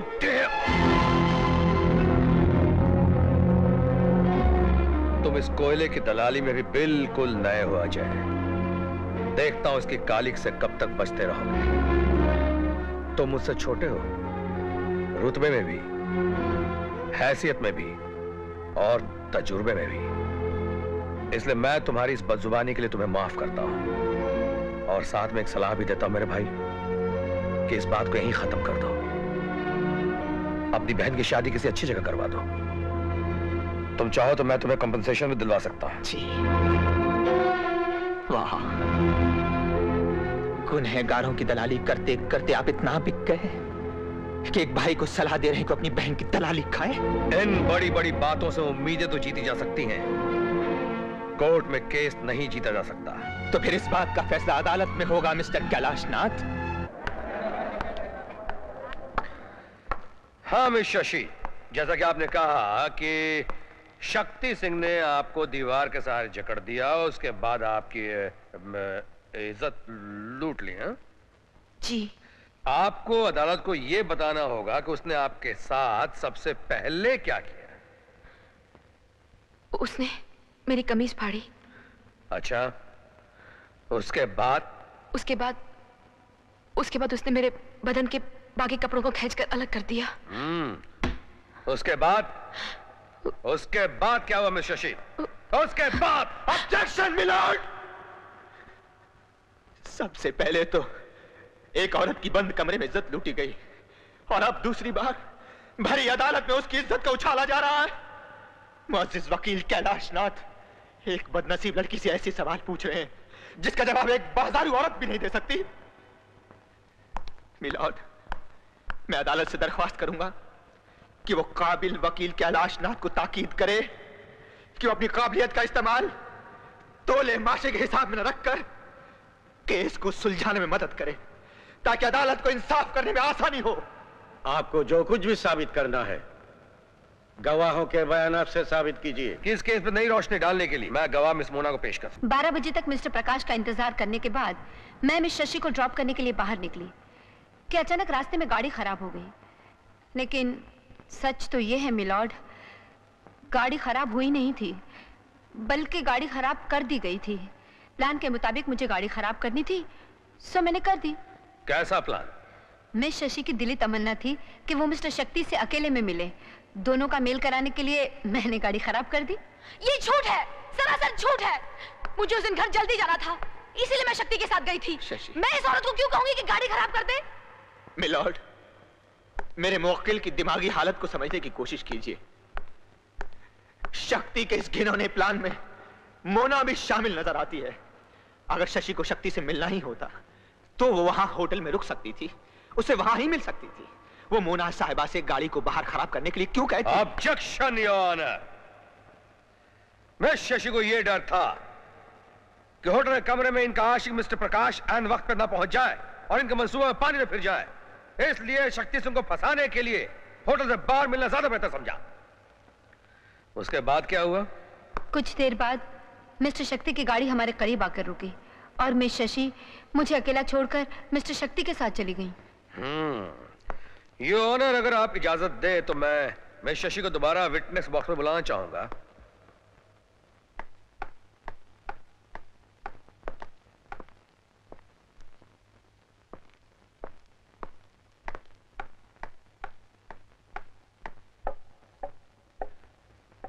मैं शशि जबकि आपको जल्दी घर पहुँचना था।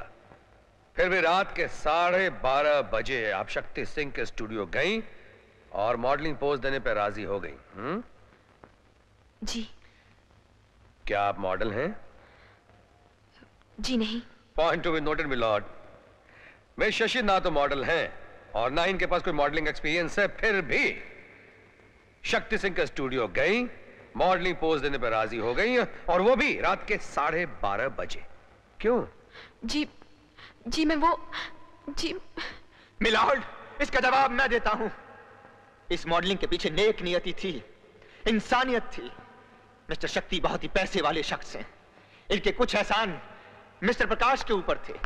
उन एहसानात को चुकाने के लिए मिस्टर शक्ति को उनके नुकसान से बचाने के लिए शशि मॉडलिंग के लिए राज़ी हो गए और जब ये मॉडलिंग का पोस्ट देने के लिए खड़ी हुई तो मिस्टर शक्ति ने इन्हें अपने इलेक्ट्रॉनिक गैजेट्स में जकड़ लिया। ये रही वो पुलिस की रिपोर्ट जिसे पुलिस ने केस के बाद स्टूडियो में छापा मार के दर्ज किया। इसमें कोई इलेक्ट्रॉनिक गैजेट की रिपोर्ट शामिल नहीं है। ना ही मौका वारदात में कोई भी ऐसी टूटी फूटी चीज़ मिली है जिससे यह साबित होता हो कि मिस शशि ने अपने हाथ पाँव चलाए हो जब मिस्टर शक्ति सिंह इनके ऊपर हावी थे। मिलॉर्ड गवाहों को खरीद कर इंसानियत को दफन किया जा रहा है। इंसाफ का खून हो रहा है। हकीकत को छिपाया जा रहा है मिलॉर्ड। हकीकत क्या है ये ऑनर?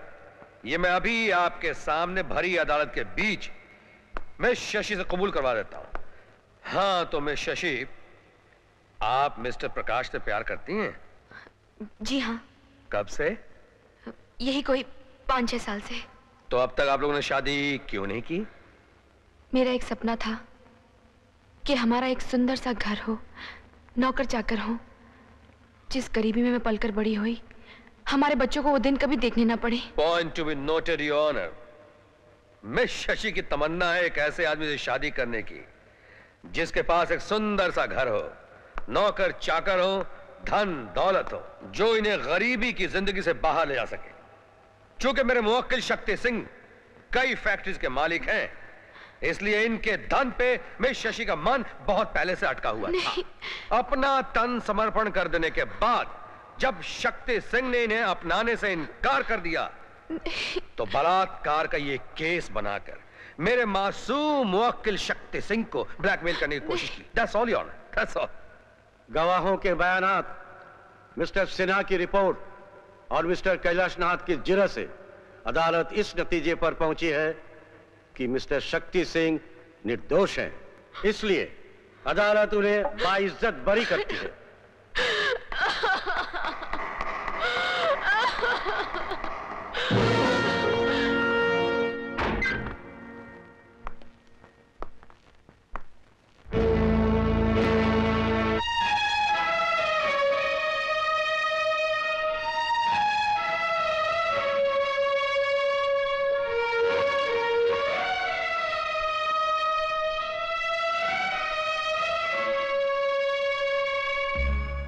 आसमां भी कांपा जुल्म हुआ वो धरती पर।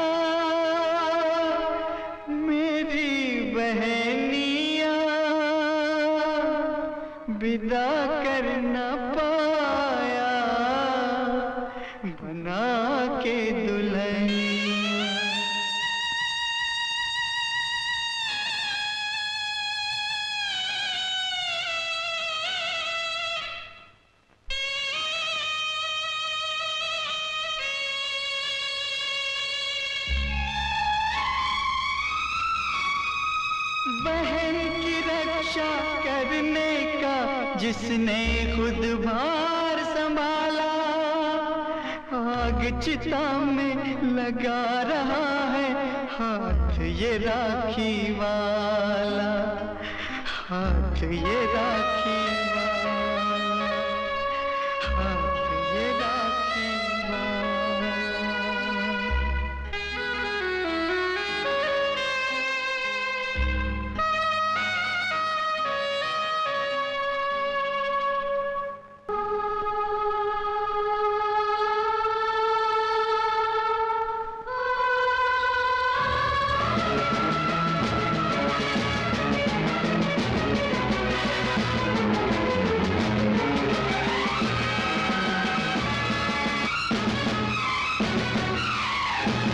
कचहरी कहाँ गई थी? कहाँ कानून थकोया सितम इंसाफ हुआ जब कहाँ भगवान था सोया?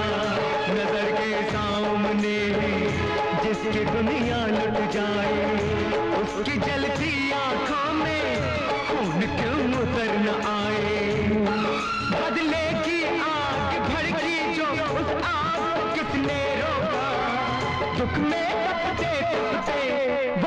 जाता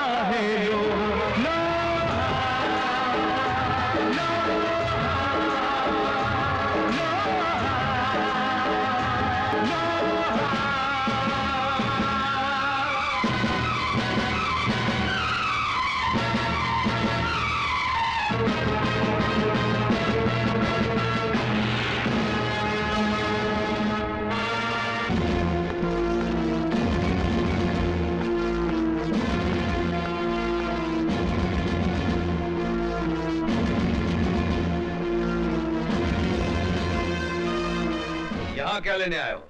लेने नहीं। देने आया हूँ मिस्टर कैलाशनाथ। ये।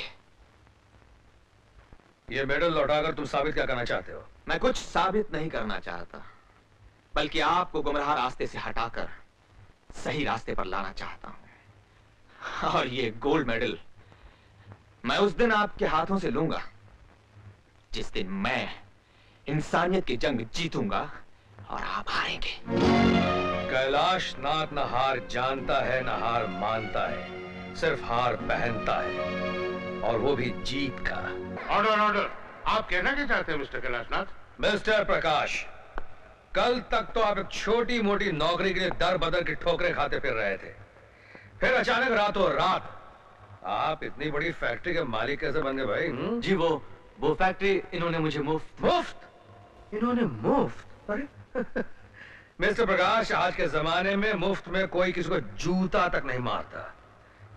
फिर आपको कोई भी आदमी फैक्ट्री मुफ़्त में कैसे दे सकता है? नो ऑनर मैं अदालत से दरख्वास्त करूँगा कि इनके बड़े भाई इंस्पेक्टर शेखर उन्हें अदालत में बुलाने की इजाज़त दी जाए इजाज़त। आपकी तनख्वाह मुश्किल से पंद्रह सोलह सौ रुपए रही होगी। इंस्पेक्टर शेखर आप अपने इलाके के सीनियर इंस्पेक्टर थे जहाँ गैर कानूनी धंधे वाले लोग धड़ल्ले से लाखों करोड़ों का हेर फेर करते हैं। आप कहना क्या चाहते हैं? मैं ये कहना चाहता हूँ शेखर साहब कि आपने अपने भाई को जो फैक्ट्री खरीद कर दी वो घूसखोरी मुजरिमों को पनाह देकर और गैर कानूनी धंधे करवा कर कमाए आपने। मुझे गुनहगार कहने वाले मुझे घूसखोर कहने वाले अपने गिरेबान में झाँक कर देख। कंटेम्प्ट ऑफ़ कोर्ट के इल्ज़ाम में मिस्टर शेखर को हिरासत में ले लिया जाए। आप मुझे हिरासत में ले सकते हैं जज साहब। मेरी सच्चाई को नहीं मेरी वतन परस्ती को नहीं खुददारी मेरी ज़िंदगी है जज साहब। अगर किसी ने मेरी इज़्ज़त उछालने के लिए मुझ पर ईट फेंकी उसका जवाब मैं पत्थर से दूँगा। यू प्रोसीड मिस्टर कैलाशनाथ क्या ये सारे दस्तखत आपके नहीं है? जी हाँ। ये दस्तखत मेरे हैं। ऑब्जेक्शन मिलॉर्ड इन ऑर्डर बुक्स में दवाओं के ऑर्डर हैं। और उन दवाओं के बक्सों में चरस और गांजा भरा हुआ था जो इन ऑर्डर बुक्स में नहीं है। ऑब्जेक्शन या ऑनर हर काले धंधे के ऊपर सफ़ेद धंधे का लेबल लगा होता है। गवाहों के बयानात और वकीलों की जरा से यह अदालत इस नतीजे पर पहुँची है कि वो फैक्ट्री मिस्टर प्रकाश की है। जहाँ से स्मगलिंग का माल बरामद हुआ है। लिहाजा यह अदालत, मिस्टर प्रकाश को तीन महीने की सजा बामुशक्कत या दो लाख रुपए जुर्माने की सजा सुनाती है। यार ये रही वो जुर्माने की रकम, पूरे दो लाख। यान मेरे मुवक्किल, मिस्टर प्रकाश कपूर, बड़े जिम्मेदार शहरी, वो उस फैक्ट्री से तंग आ चुके थे, इसलिए उनका वकील होने के नाते मैंने वो फैक्ट्री बेच दी। कैलाश जी फैक्ट्री हमारी और उसने बेच दी। आप उसे रोकते क्यों नहीं? रुक तो जाएगा शक्ति सिंह जी लेकिन उसके बाद का रास्ता आपको सीधा जेल की ओर ले जाएगा। मंजूर है आपको? नहीं नहीं नहीं। अब ठीक है। ठीक है। नमस्कार। नमस्कार। सर आज तो आप जीत कर बिहार गए। अजय तुम सिर्फ़ अपनी नज़रों में जीते हो। जहाँ तक मेरा सवाल है मैं सारी दुनिया के सामने जीता हूँ। भरी अदालत में जीता हूँ और तुम्हें हरा कर जीता हूँ। तो ठीक है मिस्टर कैलाशनाथ। मैं आपको आपकी नज़रों में दुनिया के सामने और भरी अदालत में हराऊँगा। गरजने का कोई फ़ायदा नहीं है जय। बरस का दिखाओ ना। शशि तुम मुझे अकेला छोड़ के चली गई।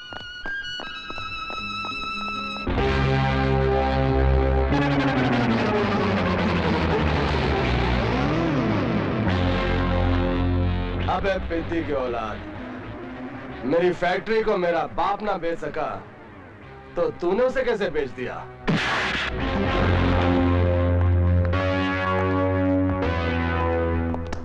आज तक शक्ति सिंह दुनिया का नुकसान करता आया है। आज पहली बार पहली बार मेरा नुकसान हुआ है। किसकी वजह से?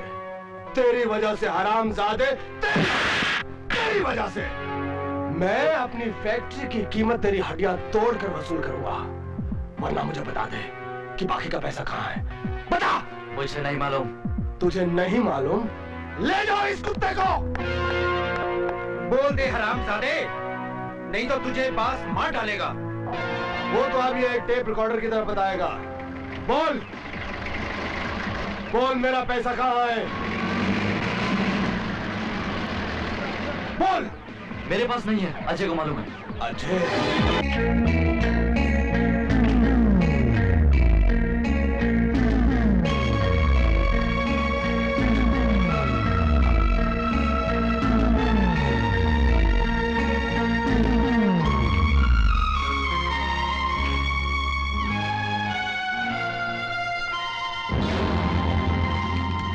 कैलाशनाथ मैं आपको सिर्फ़ ये बताने आया था कि आपके घटिया और जलील मुवक्किल शक्ति ने शेर की मान में हाथ डाला है। उसने मुझे खबर दी है कि मेरा दोस्त प्रकाश उसके कब्जे में है। प्रकाश को मेरे हवाले करवा दीजिए। याद रखिए प्रकाश के जिस्म पर जितनी खराशें आएँगी उतने ही जख्म आपकी बहन शिल्पा के जिस्म पर होंगे।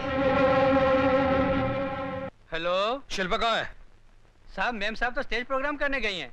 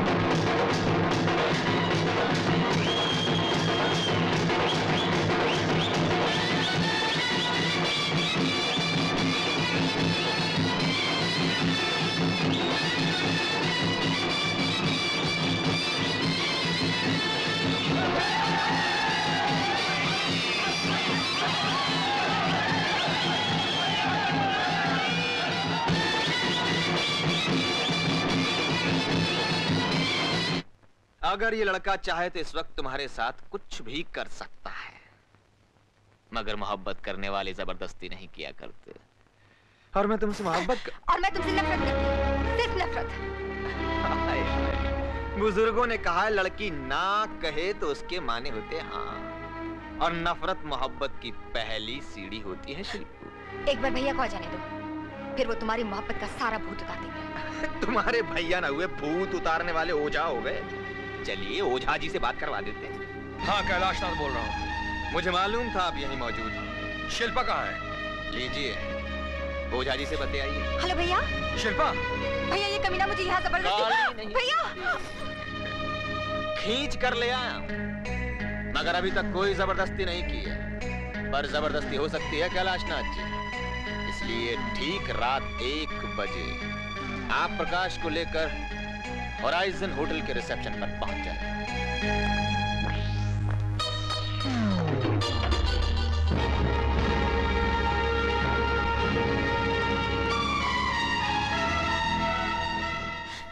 भैया। शिल्पा कैसी हो तुम? आपके होते मुझे कुछ नहीं हो सकता भैया। आपकी बदौलत उनके चुंगल से बच गया। वरना तेरी लाश भी नहीं मिलती। और तू हरामजादे। आज तू मेरे हाथों ज़िंदा नहीं बच सकता।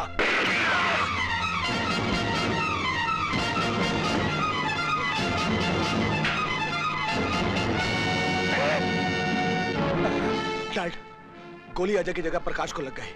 लेकिन चिंता की कोई बात नहीं। मैंने अजय को अंदर बंद कर दिया पिस्तौल के साथ। हेलो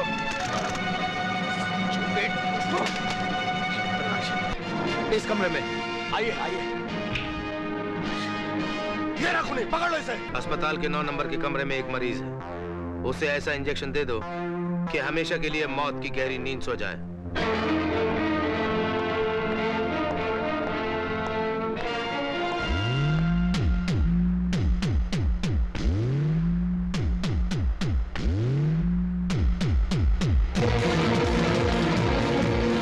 प्लीज़ डॉक्टर साहब सारी रात दर्द से कराता रहा है। अभी अभी आराम की नींद सोया है सोने दीजिए। इस इंजेक्शन के बाद ये और आराम की नींद सो जाएगा। हाँ। कौन हो तुम? और ये क्या कर रहे हो?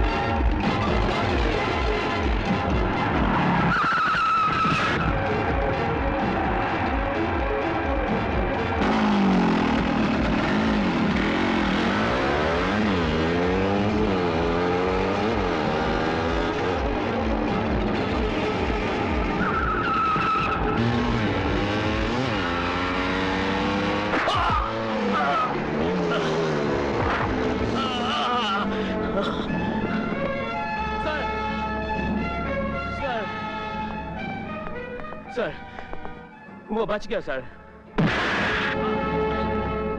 हराम खोर एक अधमरे आदमी को नहीं मार सके। कमीने। सर मैं इंजेक्शन लगाने वाला था कि उसी वक्त वहाँ इंस्पेक्टर शेखर आ गया। उस शेखर को गोली तो उड़ा देना था। कम से कम हमारे रास्ते का आखिरी कांटा तो साफ़ हो जाता। कांटा तो तुम्हारा हमेशा के लिए निकालने की मैंने कसम खाई है। तेरे ये पालतू कुत्ते तेरी लाख हिफाजत कर लें। लेकिन तुझे बचा नहीं सकते। अपने कफन दफन की तैयारी कर ले। कफन ओढ़ कर तो तू जाएगा आराम ज़्यादा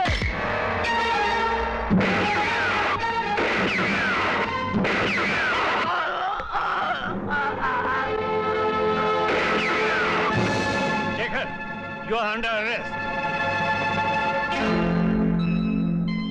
Jagan के कत्ल के इल्ज़ाम में तुम्हारी फांसी तो पक्की है शेखर। लेकिन अगर तुम चाहो तो तुम्हें और अजय को एक ही तख्ते पे लटकवाने का इंतज़ाम करवा दूँ। अरे शुक्रिया अदा करो उस ऊपर वाले का कि तू बच गया। वरना आज तुम्हारे इस पालतू कुत्ते की जगह तुम्हारी लाश नज़र आती। एक बात सुन ले। आइंदा मेरे भाई की ज़िंदगी पर हमला किया तो मैं तुम्हारी मौत बनकर मिलूँगा। चलो। सर लगता है आपने इनकी परमानेंट नौकरी कर ली है। शरफ इंस्पेक्टर अब प्रकाश को तो भगवान भी नहीं बचा सकता।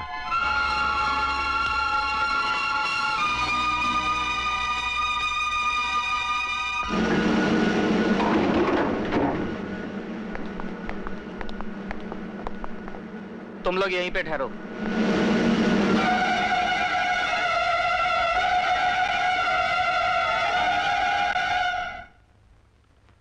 क्या हुआ? सर आपके कहने के मुताबिक प्रकाश का काम तमाम कर दिया है। Good very good yes doctor Malhotra speaking doctor साहब मैं नौ नंबर के मरीज़ प्रकाश साहब का रिश्तेदार हूँ। क्या आप बता सकते हैं उनकी हालत अब कैसी है? वो मर गए। बहुत अफसोस हुआ सुनकर। मिस्टर कैलाशनाथ अदालत की कार्रवाई शुरू कीजिए। ये आदमी वकालत और कानून के नाम पे एक बदनुमा दाग है। जो एक तरफ़ तो अपनी जेब में कानून रखता है और दूसरी तरफ़ पिस्तौल लेकर घूमता है। ये बेबुनियाद है। मुझ पर झूठा इल्ज़ाम है मिलॉर्ड। तो आप ये कहना चाहते हैं कि गोली आपने नहीं चलाई? अगर गोली मैंने चलाई होती तो पिस्तौल पर मेरी उंगलियों के निशान होते। मामूली से मामूली कातिल भी कत्ल करने के बाद अपनी उंगलियों के निशान मिटा देता है। फिर आप तो एक पेशावर वकील है अजय वर्मा साहब। आप अपने निशान कैसे छोड़ सकते हैं? तो आप आपकी मदद कौन कर सकता है? या तो भगवान या फिर मिस्टर प्रकाश जो आज इनकी वजह से भगवान के पास जा चुके इसलिए आप आपकी मदद ना तो भगवान करेगा और ना ही मिस्टर प्रकाश। इसलिए अब मैं अदालत से अजय वर्मा के लिए सख्त से सख्त सजा की गुजारिश करता हूँ। गवाहों के बयानात और सबूतों के बिना पर रुक जाइए जज साहब। एक बेगुनाह मौत के दरवाजे पर खड़ा आखिरी साँसें ले रहा है। दूसरे बेगुनाह को मौत के दरवाजे तक मत पहुंचाइए योर ऑनर। मत पहुंचाइए। आप जो कुछ भी कहना चाहते हैं, कटहरे में आकर कहिए। उस काताना हमले के बाद, डॉक्टर होने के नाते मेरा फ़र्ज़ था किसी भी कीमत पर मिस्टर प्रकाश की जान बचाना।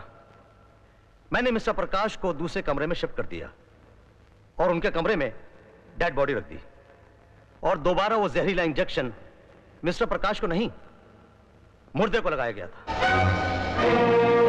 प्रकाश ज़िंदा है जज साहब और वो इस काबिल है कि अदालत में आकर अपना बयान दे सके। वो देखिए।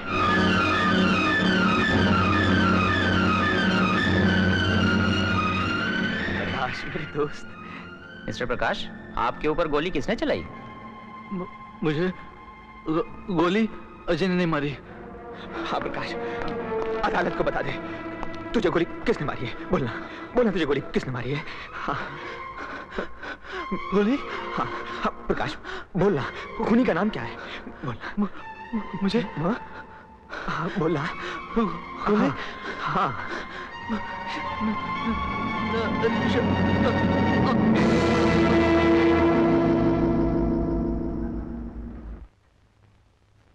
प्रकाश। मिस्टर प्रकाश ने दम तोड़ने से पहले जो अदालत में बयान दिया है वो मुलजिम अजय वर्मा को बेगुनाह साबित करता है। इसलिए अदालत मुलजिम अजय वर्मा को बाइज्जत बरी करती है। तू तो अपने भाई से पूछे बगैर कभी घर भी नहीं छोड़ता था। और आज उससे पूछे बगैर दुनिया छोड़ती। मैं तेरे भाई को कैसे बताऊँगा? कैसे बताऊँगा कि तू डैड सुबह से हराम खो शिकारी कुत्ते की तरह बाहर खड़ा है। हटने का नाम ही नहीं ले रहा है। बेटे वो सामने वाला पेड़ तुम्हारे बाप की ज़मीन पे निगड़ा हुआ। ठीक है मैं पुलिस को फ़ोन करता हूँ। पुलिस की कोई ज़रूरत नहीं मैं खुद जाता हूँ। आओ प्रताप सिंह। यहाँ क्या कर रहे हो तुम? आखिर तुम चाहते क्या क्या है प्रताप सिंह? एक चिता मैंने अपनी बहन की जलाई थी। और आज दूसरी चिता में प्रकाश की जला के आ रहा हूँ। और तीसरी चिता मैं तुम्हारे बेटे शक्ति की जलाना चाहता हूँ। वो भी ज़िंदा। मैं तुम्हारी धमकी सुनने नहीं आया। तुम्हारी गीदड़ फपकियाँ मेरे बेटे का बाल भी बाका नहीं कर सकती। मैं धमकी नहीं आगाह कर रहा हूँ प्रताप सिंह कि 12 घंटे के अंदर अंदर मैं तुम्हारे बेटे को साथ ले जाकर ज़िंदा भून दूँगा। भौंकने वाले कुत्तों को मैं अपने इलाके में ज़िंदा नहीं रहने देता। प्रताप सिंह! तुम्हारा पाला आज तक सिर्फ़ कुत्तों से पड़ा होगा। इंसान से नहीं। अरे अब्दुल, तुम अपने चार पाँच मुस्टंडे लेके फ़ौरन मेरे यहाँ पहुँच जाओ। मेरे घर के बाहर एक पागल कुत्ता बहुत भौंक रहा है। उस कुत्ते को ठोकरें मार मार कर गटर में फेंक दो।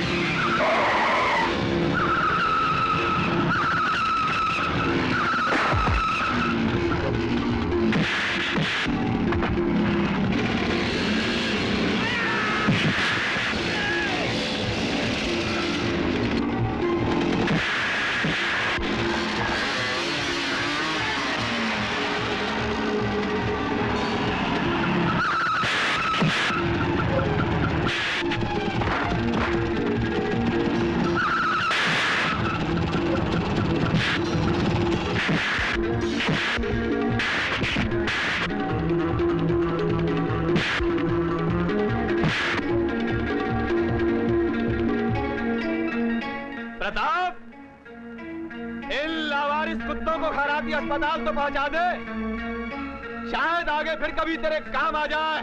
डैड ये काफ़ी तगड़ा है।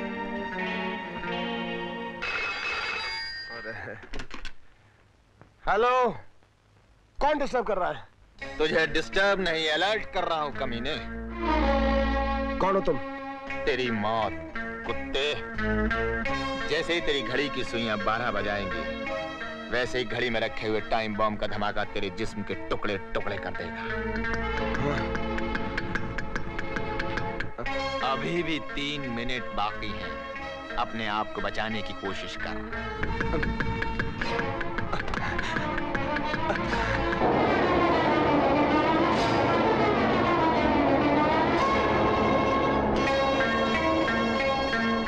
घड़ी में कोई टाइम बॉम्ब नहीं।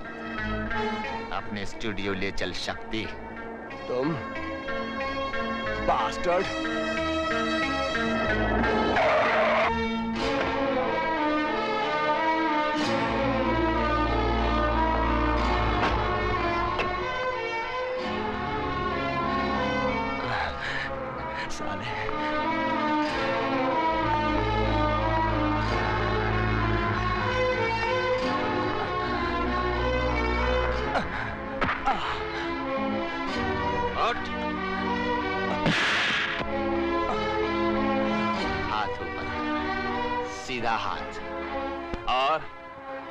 खिसक हाथ नीचे हाथ दीवार के साथ चिपक जा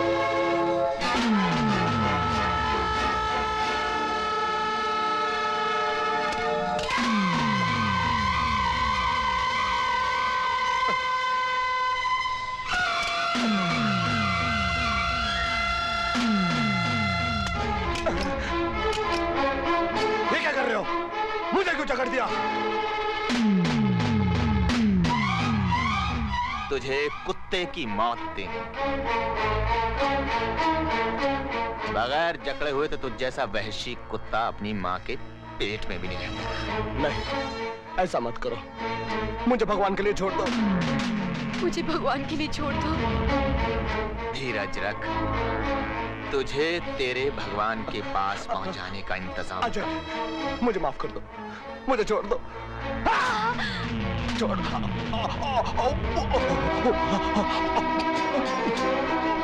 मेरी बहन भी इसी तरह चिल्लाई होगी चीखी होगी पर तुझे तरस नहीं आया होगा।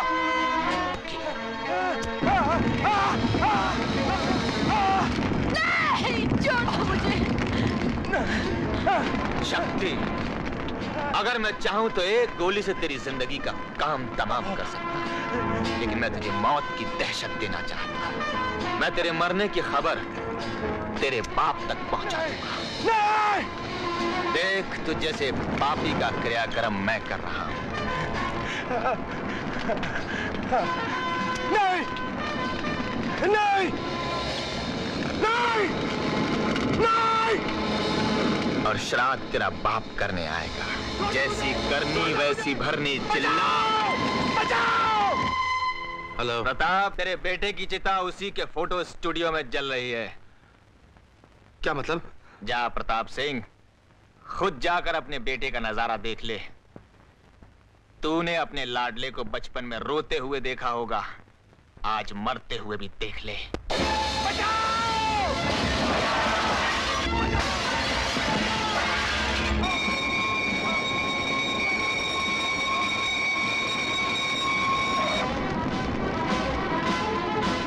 साहब जल्दी कीजिए। मेरा बेटा अंदर है मर जाएगा साहब।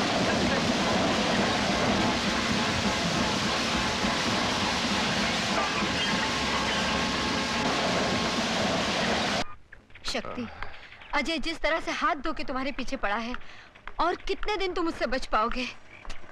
मैं ये शहर छोड़ दूँगा। डैडी से कहकर सारा बिज़नेस बेच दूँगा। और अगर ज़रूरत पड़ी तो मैं मुल्क छोड़ दूँगा। फिर मैं देखता हूँ कमीना अजय मुझे कैसे ढूंढता है। तुमने ठीक ही सोचा है।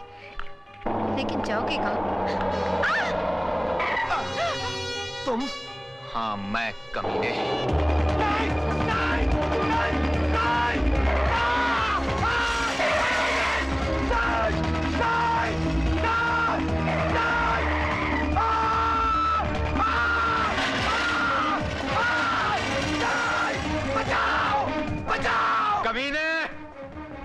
तू परदेश तो नहीं जा सका लेकिन ये व्हील चेयर तुझे परलोक ज़रूर पहुँचा देगी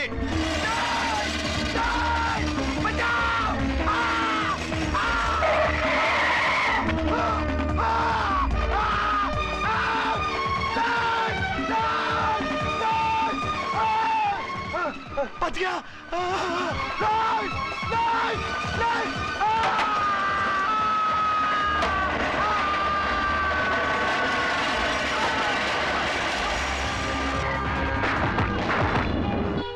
बच गया आखिर कब तक लगता है इस कुत्ते के ऊपर वाले को ज़रूरत है ही नहीं नहीं ये राक्षस मेरा पीछे पड़ गया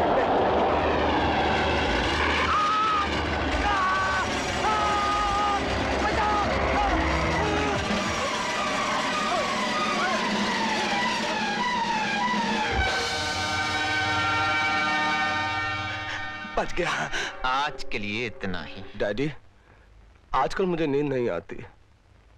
आँख बंद करता हूँ तो मौत नज़र आती है। आँख खोलता हूँ तो ऐसा लगता है कि मौत मेरा पीछा कर रही है। डैडी इस देश के अंदर आपका आपका बेटा बच नहीं सकता इसलिए मुझे किसी दूसरे देश भेज दीजिए। बेटे मैं अकेला तुझे विदेश भी तो नहीं भेज सकता। तो क्या आप अजय को मेरा पता बताना चाहते हैं? बेवकूफों की तरह बात मत करो। मैं तुम्हें ऐसी जगह भिजवाना चाहता हूँ जहाँ अजय की रूह भी तुम्हारा पीछा नहीं कर पाएगी। लेकिन उससे पहले मुझे तुम्हारी शादी शिल्पा से करवानी है। शिल्पा के साथ? प्रताप सिंह तुमने अपनी ज़ुबान पे शिल्पा का नाम कैसे लिया? मैं आज तक कानून की आँखों में धूल झोंक कर तुम्हें बचाता रहा हूँ। इसका ये मतलब कतई नहीं कि मैं अंधा हूँ जिसके घर की दीवारें खून से रंगी हो जिसकी चौखट से गुनाह पनपते हो। वहाँ मेरी बहन दुल्हन बनकर कभी नहीं जा सकती। मगर आप एक बार शिल्पा से पूछ तो लीजिए शायद इस बात को बात ही खत्म हो गए प्रताप सिंह। आइंदा इस घर में कदम रखना हो तो फिर इस बात को मत दोहराना। याद रखना मारने वाले से ज़्यादा हाथ बचाने वाले का होता है। और जब बचाने वाला ही मारने वाला बन जाए तो फिर उसे कोई नहीं बचा सकता। आप जा सकते हैं। हेलो। मैं प्रताप सिंह बोल रहा हूँ। हाँ बोलिए अंकल। अपने भाई की इज़्ज़त बचाना चाहती हो तो थोड़ी देर के लिए यहाँ आ जाओ। मैं भी आती हूँ। है तुम्हारे भाई का असली चेहरा जिसे तुम पूछती हो। और तुम्हारे जिस भाई को लोग शरीफ और इज्जतदार वकील समझते हैं उसका सही रूप ये है। और जिस भाई को तुम अपनी जान से ज़्यादा चाहती हो वो दर हकीकत ये है। और कुछ देखना चाहती हो? नहीं अंकल नहीं। कल ये तस्वीरें अखबारों में भी छप सकती हैं। इनके पोस्टर बना के शहर की दीवारों पर चौराहों पर चिपकाए जा सकते हैं। बदनामी के रंग से जब तुम्हारे भाई का मुँह काला हो जाएगा तो बर्दाश्त नहीं कर पाएगा। उसके सामने दो ही रास्ते रह जाएँगे। या तो जहर खा के खुदकुशी कर लेना या फिर रेल की पटरी पर लेट कर अपनी जान दे देना। नहीं अंकल नहीं। मैं ऐसा नहीं होने दूँगी। भैया की जान मुझे अपनी जान से ज़्यादा अज़ीज़ है। मैं अंकल आप मुझे फोटोग्राफ दे दीजिए। मैंने डिस्ट्रॉय कर दूँगी मैंने जला दूँगी। मैं तो खुद भी चाहता हूँ कि तुम अपने भाई की इज़्ज़त बचा लो। ये फोटोग्राफ तुम्हें मिल सकते हैं लेकिन लेकिन? लेकिन एक छोटी सी शर्त पर। मुझे आपकी हर शर्त मंजूर है। अपने बेटे शक्ति के लिए तुम्हारा हाथ चाहिए। डैडी आपने फोटोग्राफ्स कैसे खींचे? बस बेटे यूँ समझ लो तुम्हारी फोटोग्राफिक स्टूडियो मॉडलिंग से ज़्यादा इस काम में मेरी मदद कर गई। दो लड़कियों की तस्वीरें ले ली और कैलाश नाथ की तस्वीर के साथ मिक्स कर दिया नेगेटिव्स वाह डैडी वाह। आज मुझे यकीन होगा कि आप ही मेरे असली डैडी हैं। क्या? हाँ जितना पैसा आज तक आपने कैलाश जी को दिया उससे कहीं ज़्यादा सूद समेत हमें एक ही झटके में दहेज में मिल जाएगा। अरे। तुम फिर आ गए। मैंने जो एक बार कह दिया, वो बात अपनी जगह अटल है। भले ही मेरी बहन शिल्पा ज़िंदगी भर कुंवारी बैठी रहे, मगर उसकी शादी तुम्हारे बेटे शक्ति सिंह के साथ कभी नहीं कर सकता। तुम चले जाओ यहाँ से। आप एक बार अपनी बहन से पूछ तो लीजिए। मैं कहता हूँ निकल जाओ यहाँ से प्रताप सिंह। देखिए, आप चलो, क्या भैया। कर रहे तुम नहीं जानते शिल्पा ये कमीना। मैं सब जानती हूँ भैया। इसलिए आपसे सिर्फ़ इतना कहना चाहती हूँ कि अगर आप मुझे खुश देखना चाहते हैं मरते वक्त भाभी को जो आपने वचन दिया था उसे पूरा करना चाहते हैं तो, तो मेरी शादी शक्ति सिंह से हो जाने दीजिए। शिल्पा! आज मेरे खातिर हाँ कह दीजिए। उस चौखट पर कदम रखते ही हमारी इज़्ज़त रह जाएगी। शक्ति से मेरी शादी हो जाने दीजिए भैया। प्लीज़ भैया मैं आपके हाथ जोड़ती हूँ। आज पहली बार मैंने इसकी आँखों में आँसू देखे कैलाशनाथ जी इंसान तब रोता है जब वो बहुत ज़्यादा खुश हो जाता है। उसके आँसू पहुँच लीजिए उसकी शादी शक्ति से करवा दीजिए। मैं अभी पंडित के पास जाकर मुहूर्त निकलवाता हूँ। ठीक है ना समझी जी? ये ले अरे सक्सेना साहब आप वहाँ खड़े क्या कर रहे हैं? वाकई कल युग आ गया है। अब तो गुनेगारों और वकीलों के बीच में भी रिश्तेदारी होने लगी। कैलाश नाथ क्रिमिनल लायर की बहन शिल्पा की उस कमीने प्रताप सिंह के खूनी बेटे शक्ति के साथ शादी हो रही है। लेकिन तुम किस खुशी में लड्डू बांट रहे हो? मालूम नहीं आज प्रकाश का जन्मदिन है। मैं तो भूल ही गया कि आज प्रकाश का जन्मदिन है। ये लो भाई साहब को बांट दो। हर जन्मदिन पे मेरे पैर छूता था ना वो। आज आशीर्वाद लेने भी नहीं आया। जाइए कान से पकड़ कर लाइए उसे। तुम कान से पकड़ कर लाने की बात करते हो। मैं तो उसे कांधे पर उठा मैं जानता हूँ उसे मुझे जेल में मिलते हुए शर्म आती है लेकिन मुझे तो आज के दिन अपनी खुशी पूरी करनी है ना? याद है आपसे कहा था प्रकाश के जन्मदिन अपनी तमाम जायदाद उसको तोहफे के तौर पर दूँगा? लाइए कागजात का है। जिस प्रकाश को तुम तोहफा देना चाहते हो वो इस दुनिया में नहीं रहा। साहब क्या कह रहे हैं आप? क्या मेरा भाई इस दुनिया में नहीं? एक झूठ को छुपाने के लिए आदमी सौ झूठ बोलता है शेखर। काश मैं लाख झूठ बोलकर भी आज इस एक सच को छुपा पाता।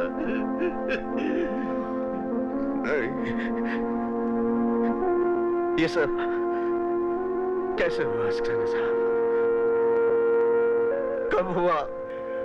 अदालत में गवाही देने के बाद और कहा चल बसा।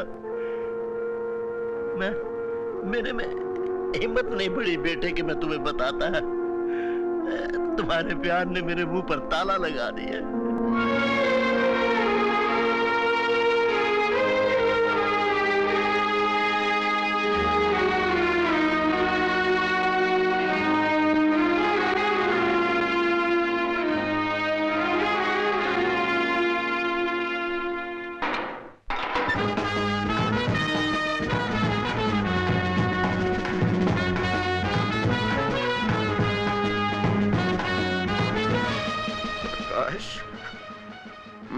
मौत का बदला लूँगा। इनकी ज़िंदगी का अंत आ गया है। इनकी ज़िंदगी का अंत आ गया है।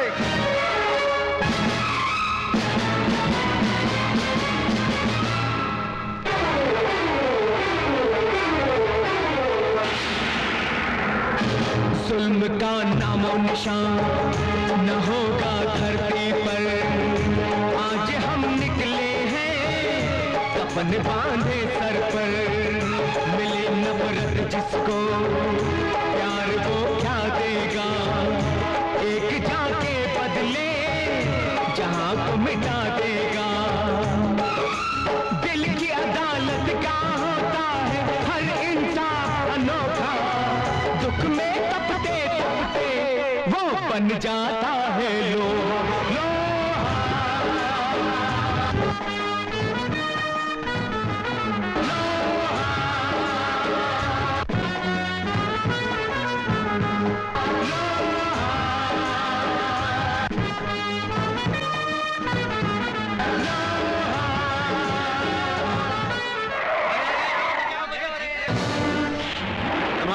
पापों की ज़िंदगी का अंत आ गया है।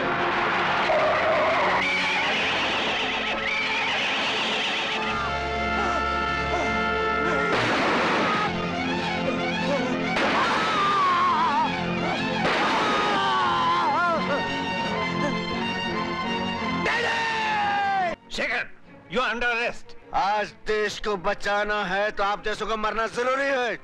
बेटे बेटे। डैड। आज क्यों आप रो रहे हैं? अगर आपने मुझे पहले रोक दिया होता तो आज ये दिन नहीं, देखना पड़ता।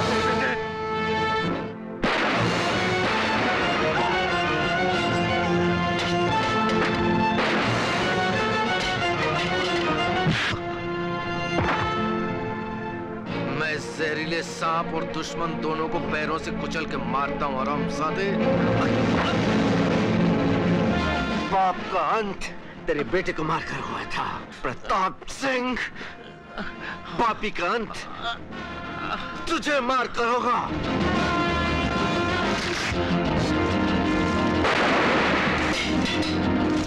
शेखर!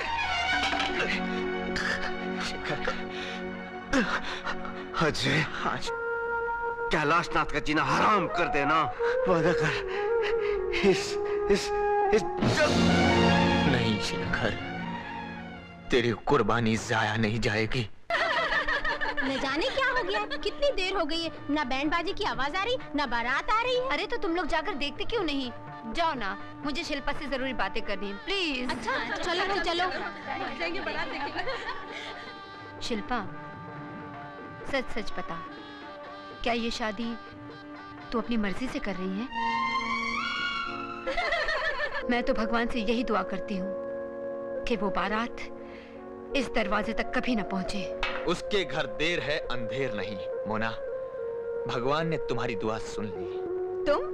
अब इस दरवाजे पर वो बारात कभी नहीं पहुंचेगी। सुनो मैं शिल्पा के साथ कुछ खास बात करना चाहता हूँ। तुम हमें अकेला छोड़ दो। श्योर मोना? मोना? तुमने दरवाज़ा क्यों बंद किया क्योंकि आदि काल से बंद दरवाजे में लड़का लड़की से मिलके अपना हक पाता Oh, shut up and get lost! अरे कोई है?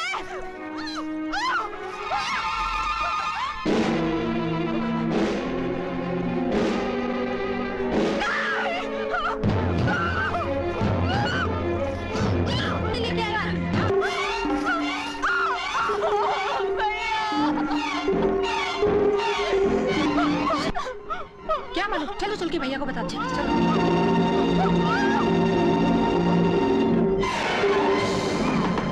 शिल्पा!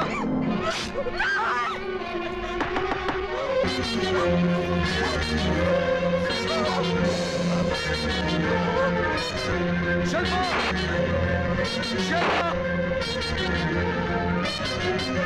शिल्पा! शिल्पा! शिल्पा!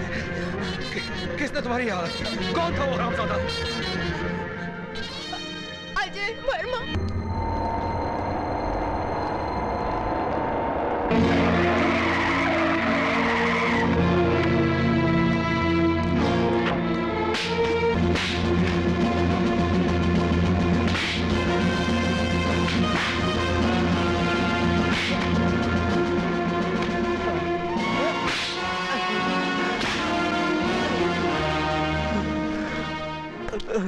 शशि मैंने तेरा बदला ले लिया है बहन वाह भैया वाह। क्या बदला लिया है आपने? और क्या मज़ाक उड़ाया है उस कमीने ने आपके बदले का? बात क्या है शिल्पा? भैया मैं ये कहना चाहती हूँ कि अजय ज़िंदा है।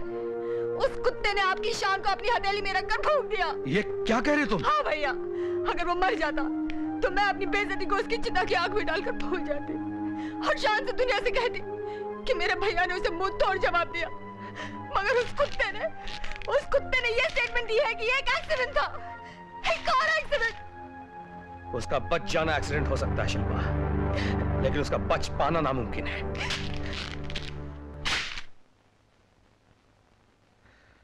मैं अधमरों को नहीं मारता, इसलिए तुझे छोड़ रहा अगर तू ये समझता है कि तेरे इस तरह के बयान दे लेने से तू बच जाएगा।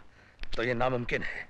और अगर तू ये समझता है कि इस स्टेटमेंट से तेरे लिए मेरे दिल में हमदर्दी पैदा हो जाएगी तो ये भी तेरी भूल होगी। मुझे आपसे पूरी हमदर्दी है मिस्टर कैलाशनाथ। इसलिए आपको एक सलाह देता हूँ। क्या आप ये रेप केस थोड़ा बहुत मुआवजा लाख पचास हज़ार रुपया लेकर मेरी इज़्ज़त का मुआवजा तेरी मौत है कमीने तेरी मौत। Sir please sir. एक बार भगवान ने तुझे मौत के मुँह से बचा लिया। आज पुलिस ने तुझे मुझसे बचा लिया। लेकिन इतना याद रखना एडवोकेट कैलाश कैलाशनाथ जिस लकीर पे उंगली रख देता है, वो पत्थर बन जाती है, पत्थर। कोर्ट में तुझे एडवोकेट कैलाशनाथ के हाथों कोई नहीं बचा सकेगा, कोई नहीं बचा सकेगा। इज़्ज़त की चोट नासूर की तरह होती है कैलाशनाथ आज जब खुद को लगी तो जख्मों का एहसास होने लगा है।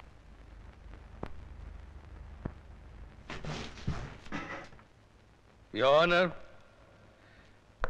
पिछले 20 मार्च को इसी कोर्ट में एक केस आया था, जिसमें मैंने मुलजिम अजय वर्मा की बच्चलन बहन का केस जीता था। अपने हारे हुए उस केस की जाति दुश्मनी निकालने के लिए मुलजिम अजय वर्मा ने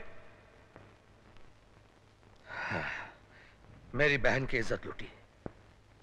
कोर्ट से गुजारिश है केस खतरनाक मुलजिम को ऐसी सजा दे ताकि कोई भी कानून का गद्दार कानून अपने हाथ में लेने की ज़रूरत ना कर सके। मिलॉर्ड एक वकील होने के नाते मैं अदालत से दरख्वास्त करूँगा कि मुझे अपने केस की पैरवी खुद करने की इजाज़त दी जाए।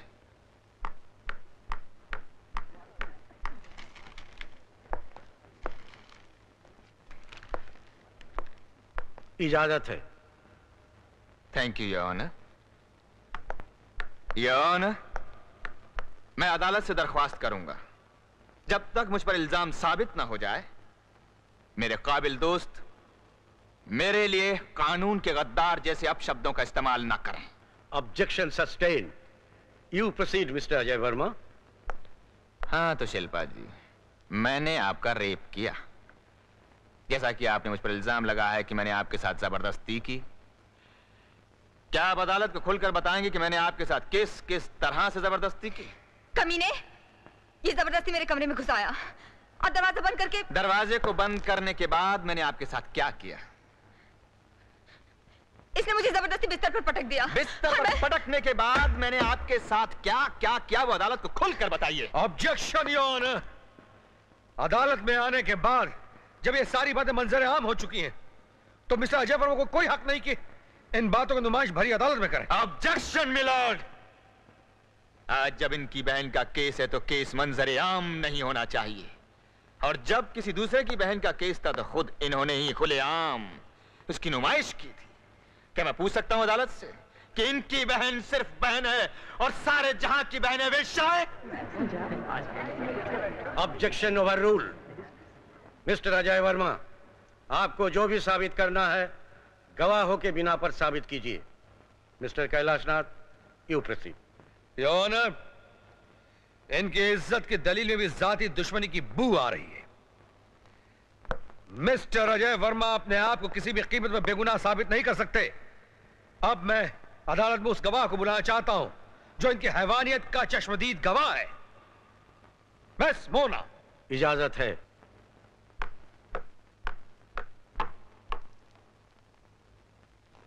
हाँ तो मिस मोना। शादी वाले दिन जब आप और शिल्पा कमरे के अंदर थीं, तो क्या मिस्टर अजय वर्मा वहाँ आए थे? अजय आया नहीं था। उसे बुलाया गया था। वॉट बुलाया गया था? जी हाँ। किसने बुलाया था? शिल्पा ने। शिल्पा ने? क्या बकवास कर रही हो मोना? मैं जिस आदमी की शक्ल तक देखना पसंद नहीं करती मैं उस कमीने को अपने कमरे में क्यों बुलाऊँगी? याना दरअसल शिल्पा जी उस कमीने की शक्ल से नहीं बल्कि उस आदमी से मोहब्बत करती थी। मैं अदालत से दरख्वास्त करूँगा कि वो शिल्पा जी को एक बार फिर विटनेस बॉक्स में बुलाए। इजाज़त है। ऐसा तुमने क्यों किया?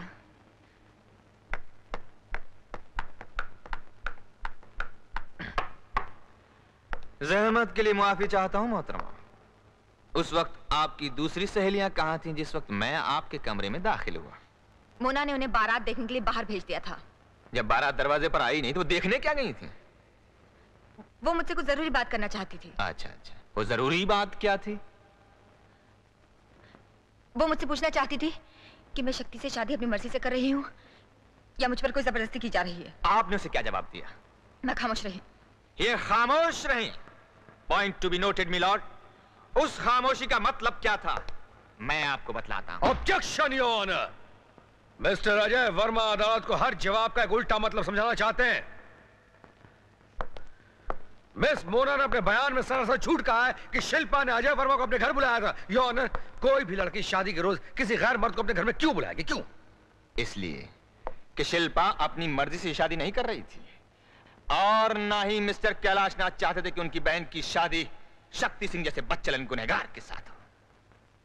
मिस्टर कैलाशनाथ क्या ये झूठ है?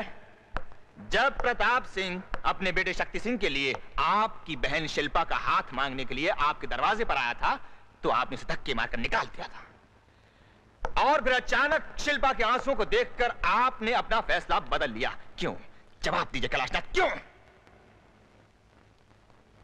इसलिए कि मैं शिल्पा की खुशी चाहता था और शादी पर ज़ोर देने की वजह। ये अश्लील तस्वीरें हैं ये ऑनर मिस्टर कैलाशनाथ, ये हैं वो अश्लील तस्वीरें जिनको दिखाकर प्रताप सिंह आपकी बहन को ब्लैकमेल कर रहा था और शक्ति सिंह से शादी करने के लिए मजबूर कर रहा था। मिस शिल्पा, आप अदालत के सामने कबूल कीजिए कि मैं जो कुछ कह रहा हूँ, सच कह रहा हूँ। योर ऑनर ये तस्वीरें भरी अदालत में मुझे ब्लैकमेल करने के लिए बनवाई गई हैं।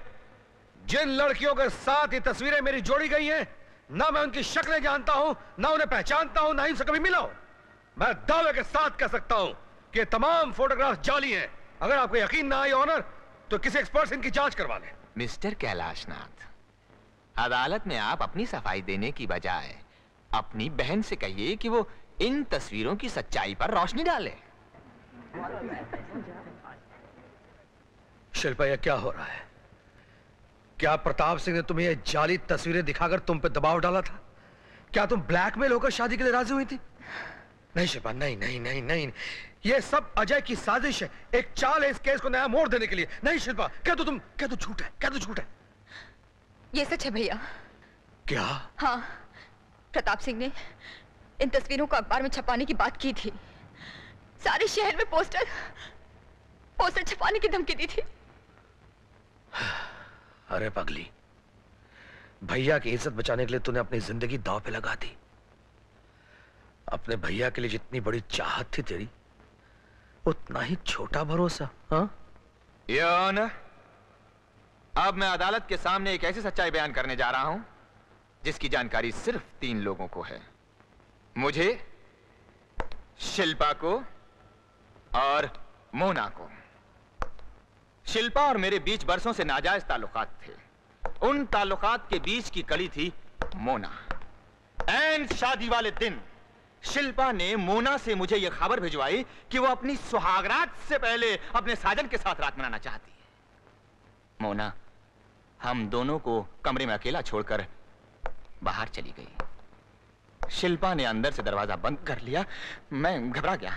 मैंने कहा शिल्पा शादी के दिन ये क्या क्या बेवकूफ़ी है?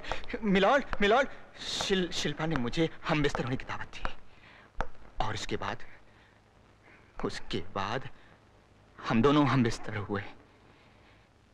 मिलॉर्ड उसी वक्त अचानक टेलीफोन की घंटी बजी जिससे शिल्पा को यह खबर मिली कि शेखर ने उसके होने वाले पति और उसके ससुर का खून कर दिया है।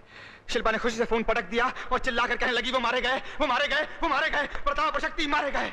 मैं, मैंने शिल्पा की तरफ़ देखा, उसकी आँखों में एक हैवत ना खुशी थी और मुझसे कहने लगी, अजय अजय, तुम मुझसे शादी करोगे, तुम मुझसे शादी करोगे? मैं भौचक उसको देखता रहा, मिलॉर्ड भौचक उसको देखता रहा और झटक कर उसको खड़ा हो गया और खड़े होकर मैंने इंकार में सर हिलाया। मैंने कहा, नहीं कभी नहीं। जो औरत अपने होने वाले पति से वफादार नहीं हो सकती वो मेरे साथ क्या वफादार होगी? मैं मिस्टर कैलाश नाथ से पूछना चाहता हूँ कि वो अपनी ही गवाह मोना के बयान को झुठला सकते हैं? क्या वो उन तस्वीरों की सच्चाई को झुठला सकते हैं? नहीं योर ऑनर नहीं। हर सबूत ये साबित करता है कि मैं निर्दोष था। निर्दोष हूँ और निर्दोष रहूँगा। That's all, Your Honor. That's all. That's all. That's all, Your Honor. That's all, my friends. That's all. गवाहों के बयानात और काबिल वकील मिस्टर अजय वर्मा की दलीलें सुनने के बाद अदालत इस नतीजे पर पहुँची है कि मिस्टर अजय वर्मा निर्दोष है और अदालत उन्हें बाइज्जत बरी करती है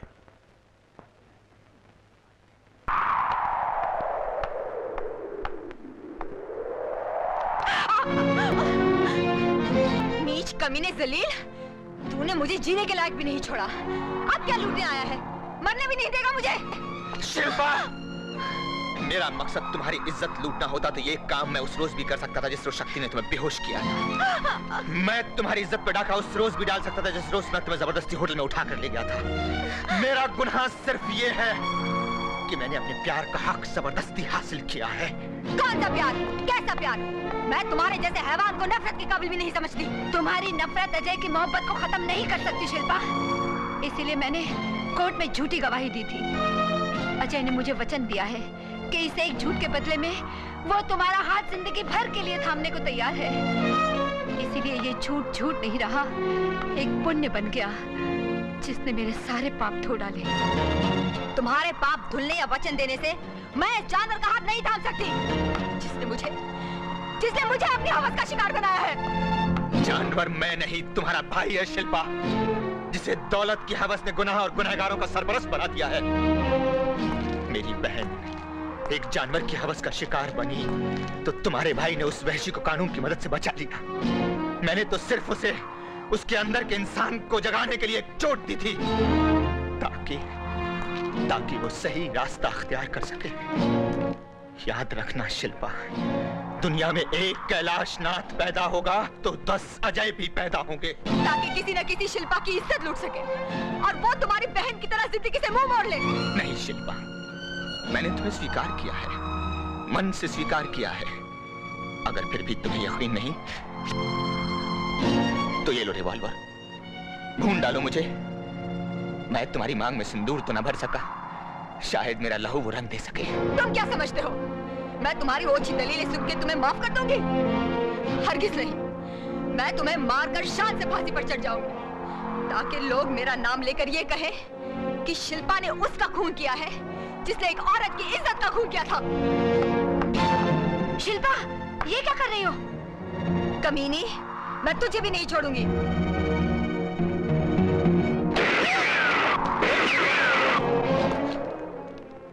जब गुनाह करते वक्त मैं शर्मिंदा नहीं था तो आज उसे कबूल करते हुए भी शर्मिंदा नहीं। अजय, कानून की लड़ाई तुम जिस तरह जीते हो, उसके बारे में तो मैं कुछ नहीं कहूँगा। लेकिन आज तुमने मेरी बहन की जान बचाकर इंसानियत की जंग जीती है। अजय, याद है? ये गोल्ड मेडल एक दिन तुमने मुझे वापस कर दिया था। इस विश्वास के साथ कि एक दिन मैं फिर तुम्हें दोबारा पहनाऊँगा। आज तुम्हारा वही आदर्श, उसी विश्वास के साथ तुम्हें ये गोल्ड मेडल लौटाना है। ये मेरी हार नहीं, जीत है। आज कानून के हर रखवाले को हमारे साथ मिलकर कसम खानी होगी कि आज से कोई भी कानून के गद्दारों का साथ नहीं देगा। यही रास्ता है गुनाह और गुनाहगारों को हमेशा हमेशा के लिए खत्म करने का। एक बार सजा पाने के बाद वो दोबारा गुनाह नहीं करेगा। और अगर वो फिर भी दोबारा गुनाह करता है तो वो हमारा दुश्मन होगा। समाज का दुश्मन होगा। इंसानियत का दुश्मन होगा।